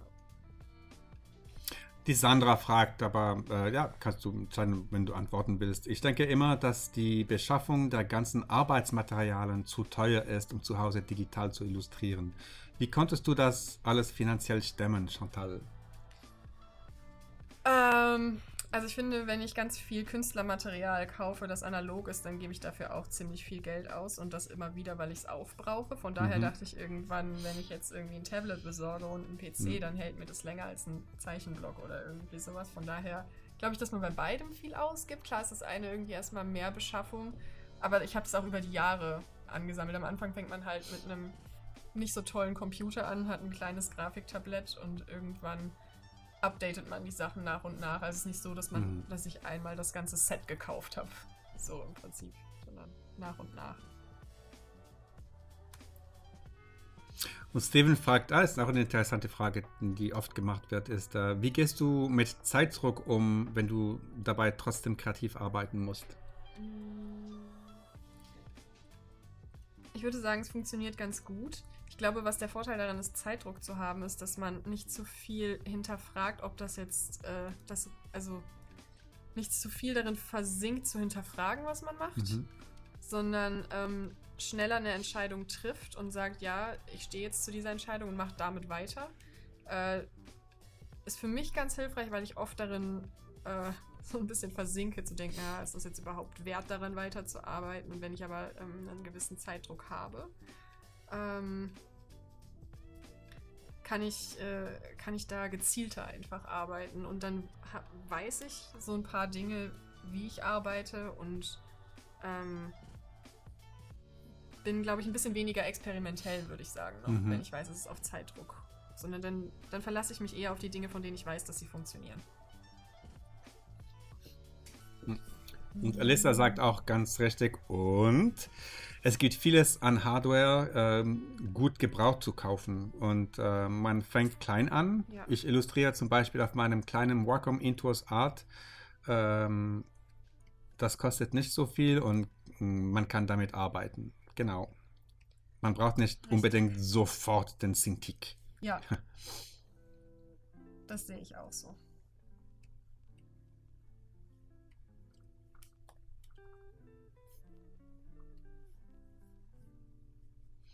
Maximilian, wie viel Zeit muss man investieren, um wirklich gut zu zeichnen als Anfänger?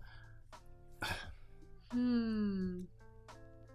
Das ist, glaube ich, sehr, Hm. sehr unterschiedlich. Ich, äh, Aber was ich sagen kann, ist, Zeichnen kann man lernen. auf jeden Fall. Ja, da bin ich auch ein Fälle. großer Mhm. Befürworter von. Ich äh, finde es immer schwierig, wenn Leute sagen, ja, du bist einfach talentiert, du hast Mhm. halt Glück, dass du Mhm. das so kannst. Und glaube, es hat äh, sehr viel damit zu tun, dass die Leute, die das gut können, es einfach oft machen. Das ist Mhm. einfach das Geheimnis Und schon davon. sehr lang gemacht haben. Ja, genau. Also ich zeichne eigentlich auch schon eigentlich mein Leben lang und digital jetzt seit sechs Jahren. Ähm, ja. Und man Mhm. wird mit der Zeit einfach besser, das kann man einfach sagen. Man muss da, glaube ich, am Anfang ein bisschen geduldig sein, dass man nicht sofort das macht, was jemand anderes macht, der das schon zehn Jahre lang macht oder so. Und da selber mit sich ein bisschen gnädig sein und einfach darauf vertrauen, dass man besser wird. Ja, Elissa, da würde, das Cintiq würde auch nicht auf deinen Schreibtisch passen. Und Andreas meint, ah, nein, mit der Viola. Ich rede da gerade.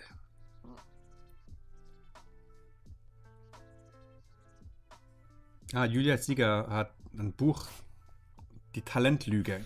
Gutes Buch, man kann alles lernen. Ja. Sehe ich auch so.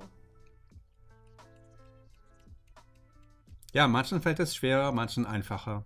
Aber ich kann sagen, ähm, ich, als ich da in der, in der Malerschule, in der Schule war, in dieser Malerschule in Florenz war, Mhm. da war einer, der konnte wirklich nicht gut zeichnen. Und äh, ja, aber hat einfach, der wollte einfach lernen, lernen, lernen.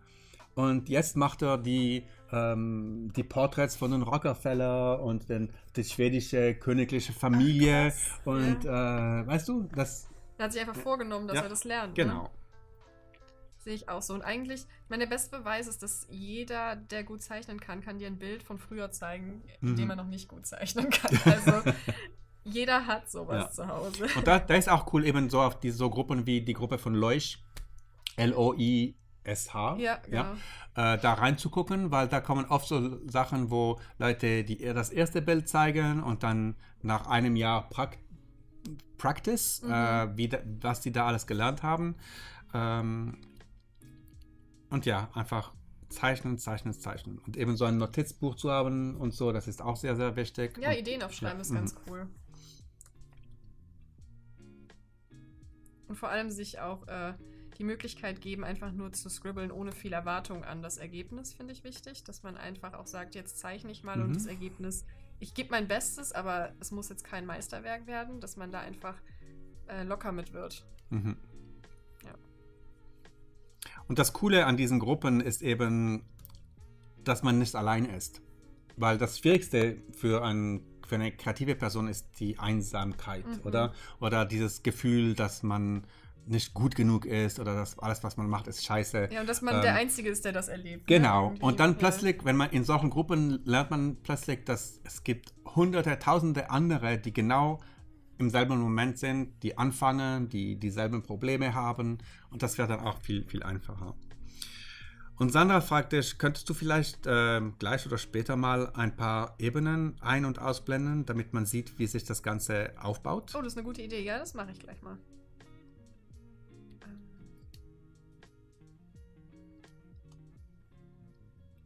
Ah, hier rechts haben wir es ja auch noch in ganz.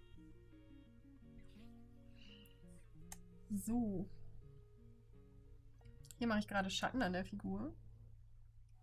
Das hier ist ohne, Mhm. ohne die ursprüngliche Zeichnung, also Ja, nur was, ja. was ich in Farbe gemacht habe. Nehmen wir mal den, das Licht erstmal weg, das ich gerade noch jetzt so langsam hinzugefügt habe. Ähm, alles noch sehr flach. Und ich weiß noch nicht genau, wie deckend ich das jeweils haben möchte, weil ich eben auch so ein bisschen den flachen Stil ganz gerne mag. mag aber damit kann ich dann gleich äh, oder später oder morgen immer noch ein bisschen äh, tweaken, ein bisschen Mhm. hin und her ähm, machen. Also das ist das Ganze ohne Licht und das hier sind die einzelnen Farbflächen. Ich habe hier noch mit einem Overlay oder ineinander kopieren halt unterschiedliche ähm, Töne in die Kakteen hinten gegeben, um die besser voneinander unterscheiden zu können, um dann zu zeigen, da sind viele verschiedene und da ein bisschen Variation reinzugeben.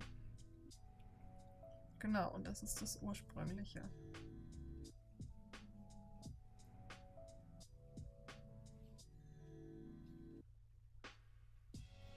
Vielleicht kann der Tim, der Alejandro, äh, die Gruppe, die Leuch, ja, na, ja, Leuch, aber ohne C. Genau, das ist auf Facebook. Ja, Facebook, ist eine Facebook-Gruppe, ja. Ja.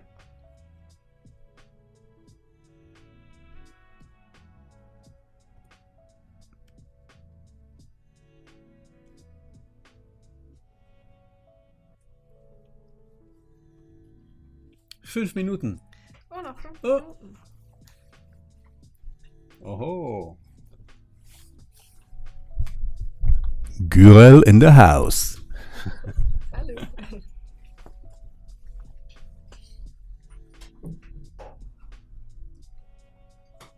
Lista sagt Chantal einfach nur wow. Oh, danke schön. Das freut mich. Mehr der Ideen, was ich oft magisch finde, man beginnt mit einem Bild, manchmal denkt man dann, hm, das wird doch nix, aber man macht weiter und weiter und auf einmal kommt der Punkt, wo es wie von alleine flutscht und gut wird. Ja. Hm. Das behaupten viele und ich glaube auch, dass es Mhm. sehr häufig ist, dass man so eine hässliche Phase hat im Bild, wo man, äh, Mhm. Wo man gerade Dinge macht, die müssen halt auch gemacht werden oder man sucht gerade noch, wie es weitergeht und dann hat man so eine Phase, wo man denkt, das ist nichts, das ist furchtbar, warum mache ich das hier eigentlich gerade? Ich möchte aufhören. Und ich glaube, dafür muss man eine Toleranz entwickeln, dass man sagt oder dass man darauf vertraut, dass man das kann, dass man das wieder umdrehen kann. Das ist dann wie so ein Rätsel. Du musst halt herausfinden, was macht das Bild jetzt gut. So sehe ich das immer. Das hilft dann weiterzumachen.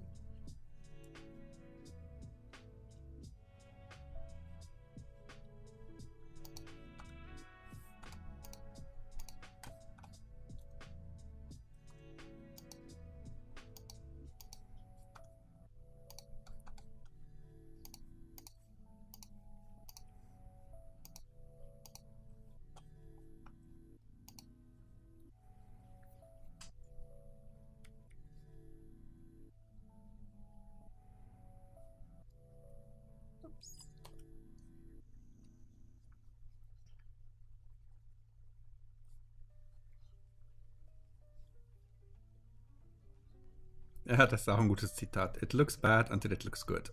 Ja, genau. Und dann weiß man, dass, man, dass es fertig ist.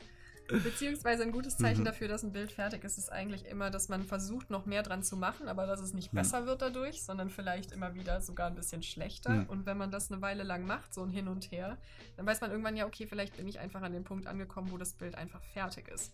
Ich kann einfach nichts mehr besser machen daran. Und äh, Und Ja. die Julia hat einen coolen Link auf einer ähm, Session auf Adobe Max bei Denise Jacobs. Banish your inner critic. es wäre sehr hilfreich, ja. Und Sandra, ach, ich bin gerade total begeistert. Das war, das, das hat was Meditatives hier zuzuschauen. Ja, stimmt. Das Ganz, freut ja. mich, dass es angenehm ist.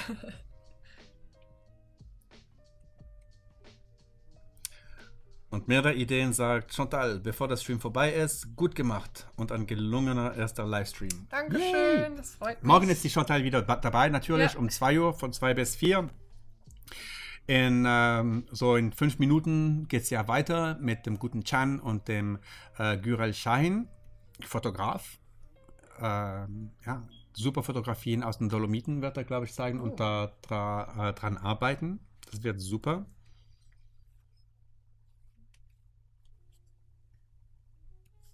Und eben, ja, für Inspiration hatten wir noch nie wie heute so viel Inspiration, ja, wie du, du sagst, ja, Behance und Pinterest und dies und das und Gruppen. Ähm, Und da Ja. kann man, das Wichtige ist zu sehen, dass, und das ist auch wichtig hier auf Adobe Live für mich, ist, dass ihr alle seht, dass auch die Pros machen Fehler Ja. oder ma etwas klappt nicht oder ja, eigentlich sind wir alle auf demselben Boot. Ganz Ähm, genau. Und auch Anita, bevor es zu Ende ist, war so gut. Bin weiter dabei. Hilfreich. Danke. Sehr Freue mich auf die morgige darüber. Session, sagt Nadja.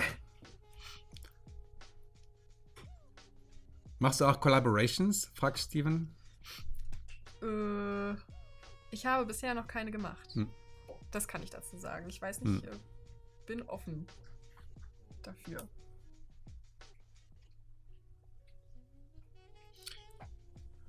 Okay, und damit haben wir unsere zwei Stunden vorbei. Aber wir sehen uns wieder morgen um 10 Uhr mit der Johanna Springer und dann um 12 wieder mit, äh, da ist das, das, ganze Programm hier auf Adobe Live, mit, äh, mit, äh, ja, mit Philipp und Greta morgen und dann wieder Chantal um 2 und der Gürel wieder um 4. Also es geht morgen weiter und ja, bis morgen. Gleich geht's weiter mit Gürel und Chan, also dabei bleiben und wir sehen uns morgen. Bis morgen. Tschüss.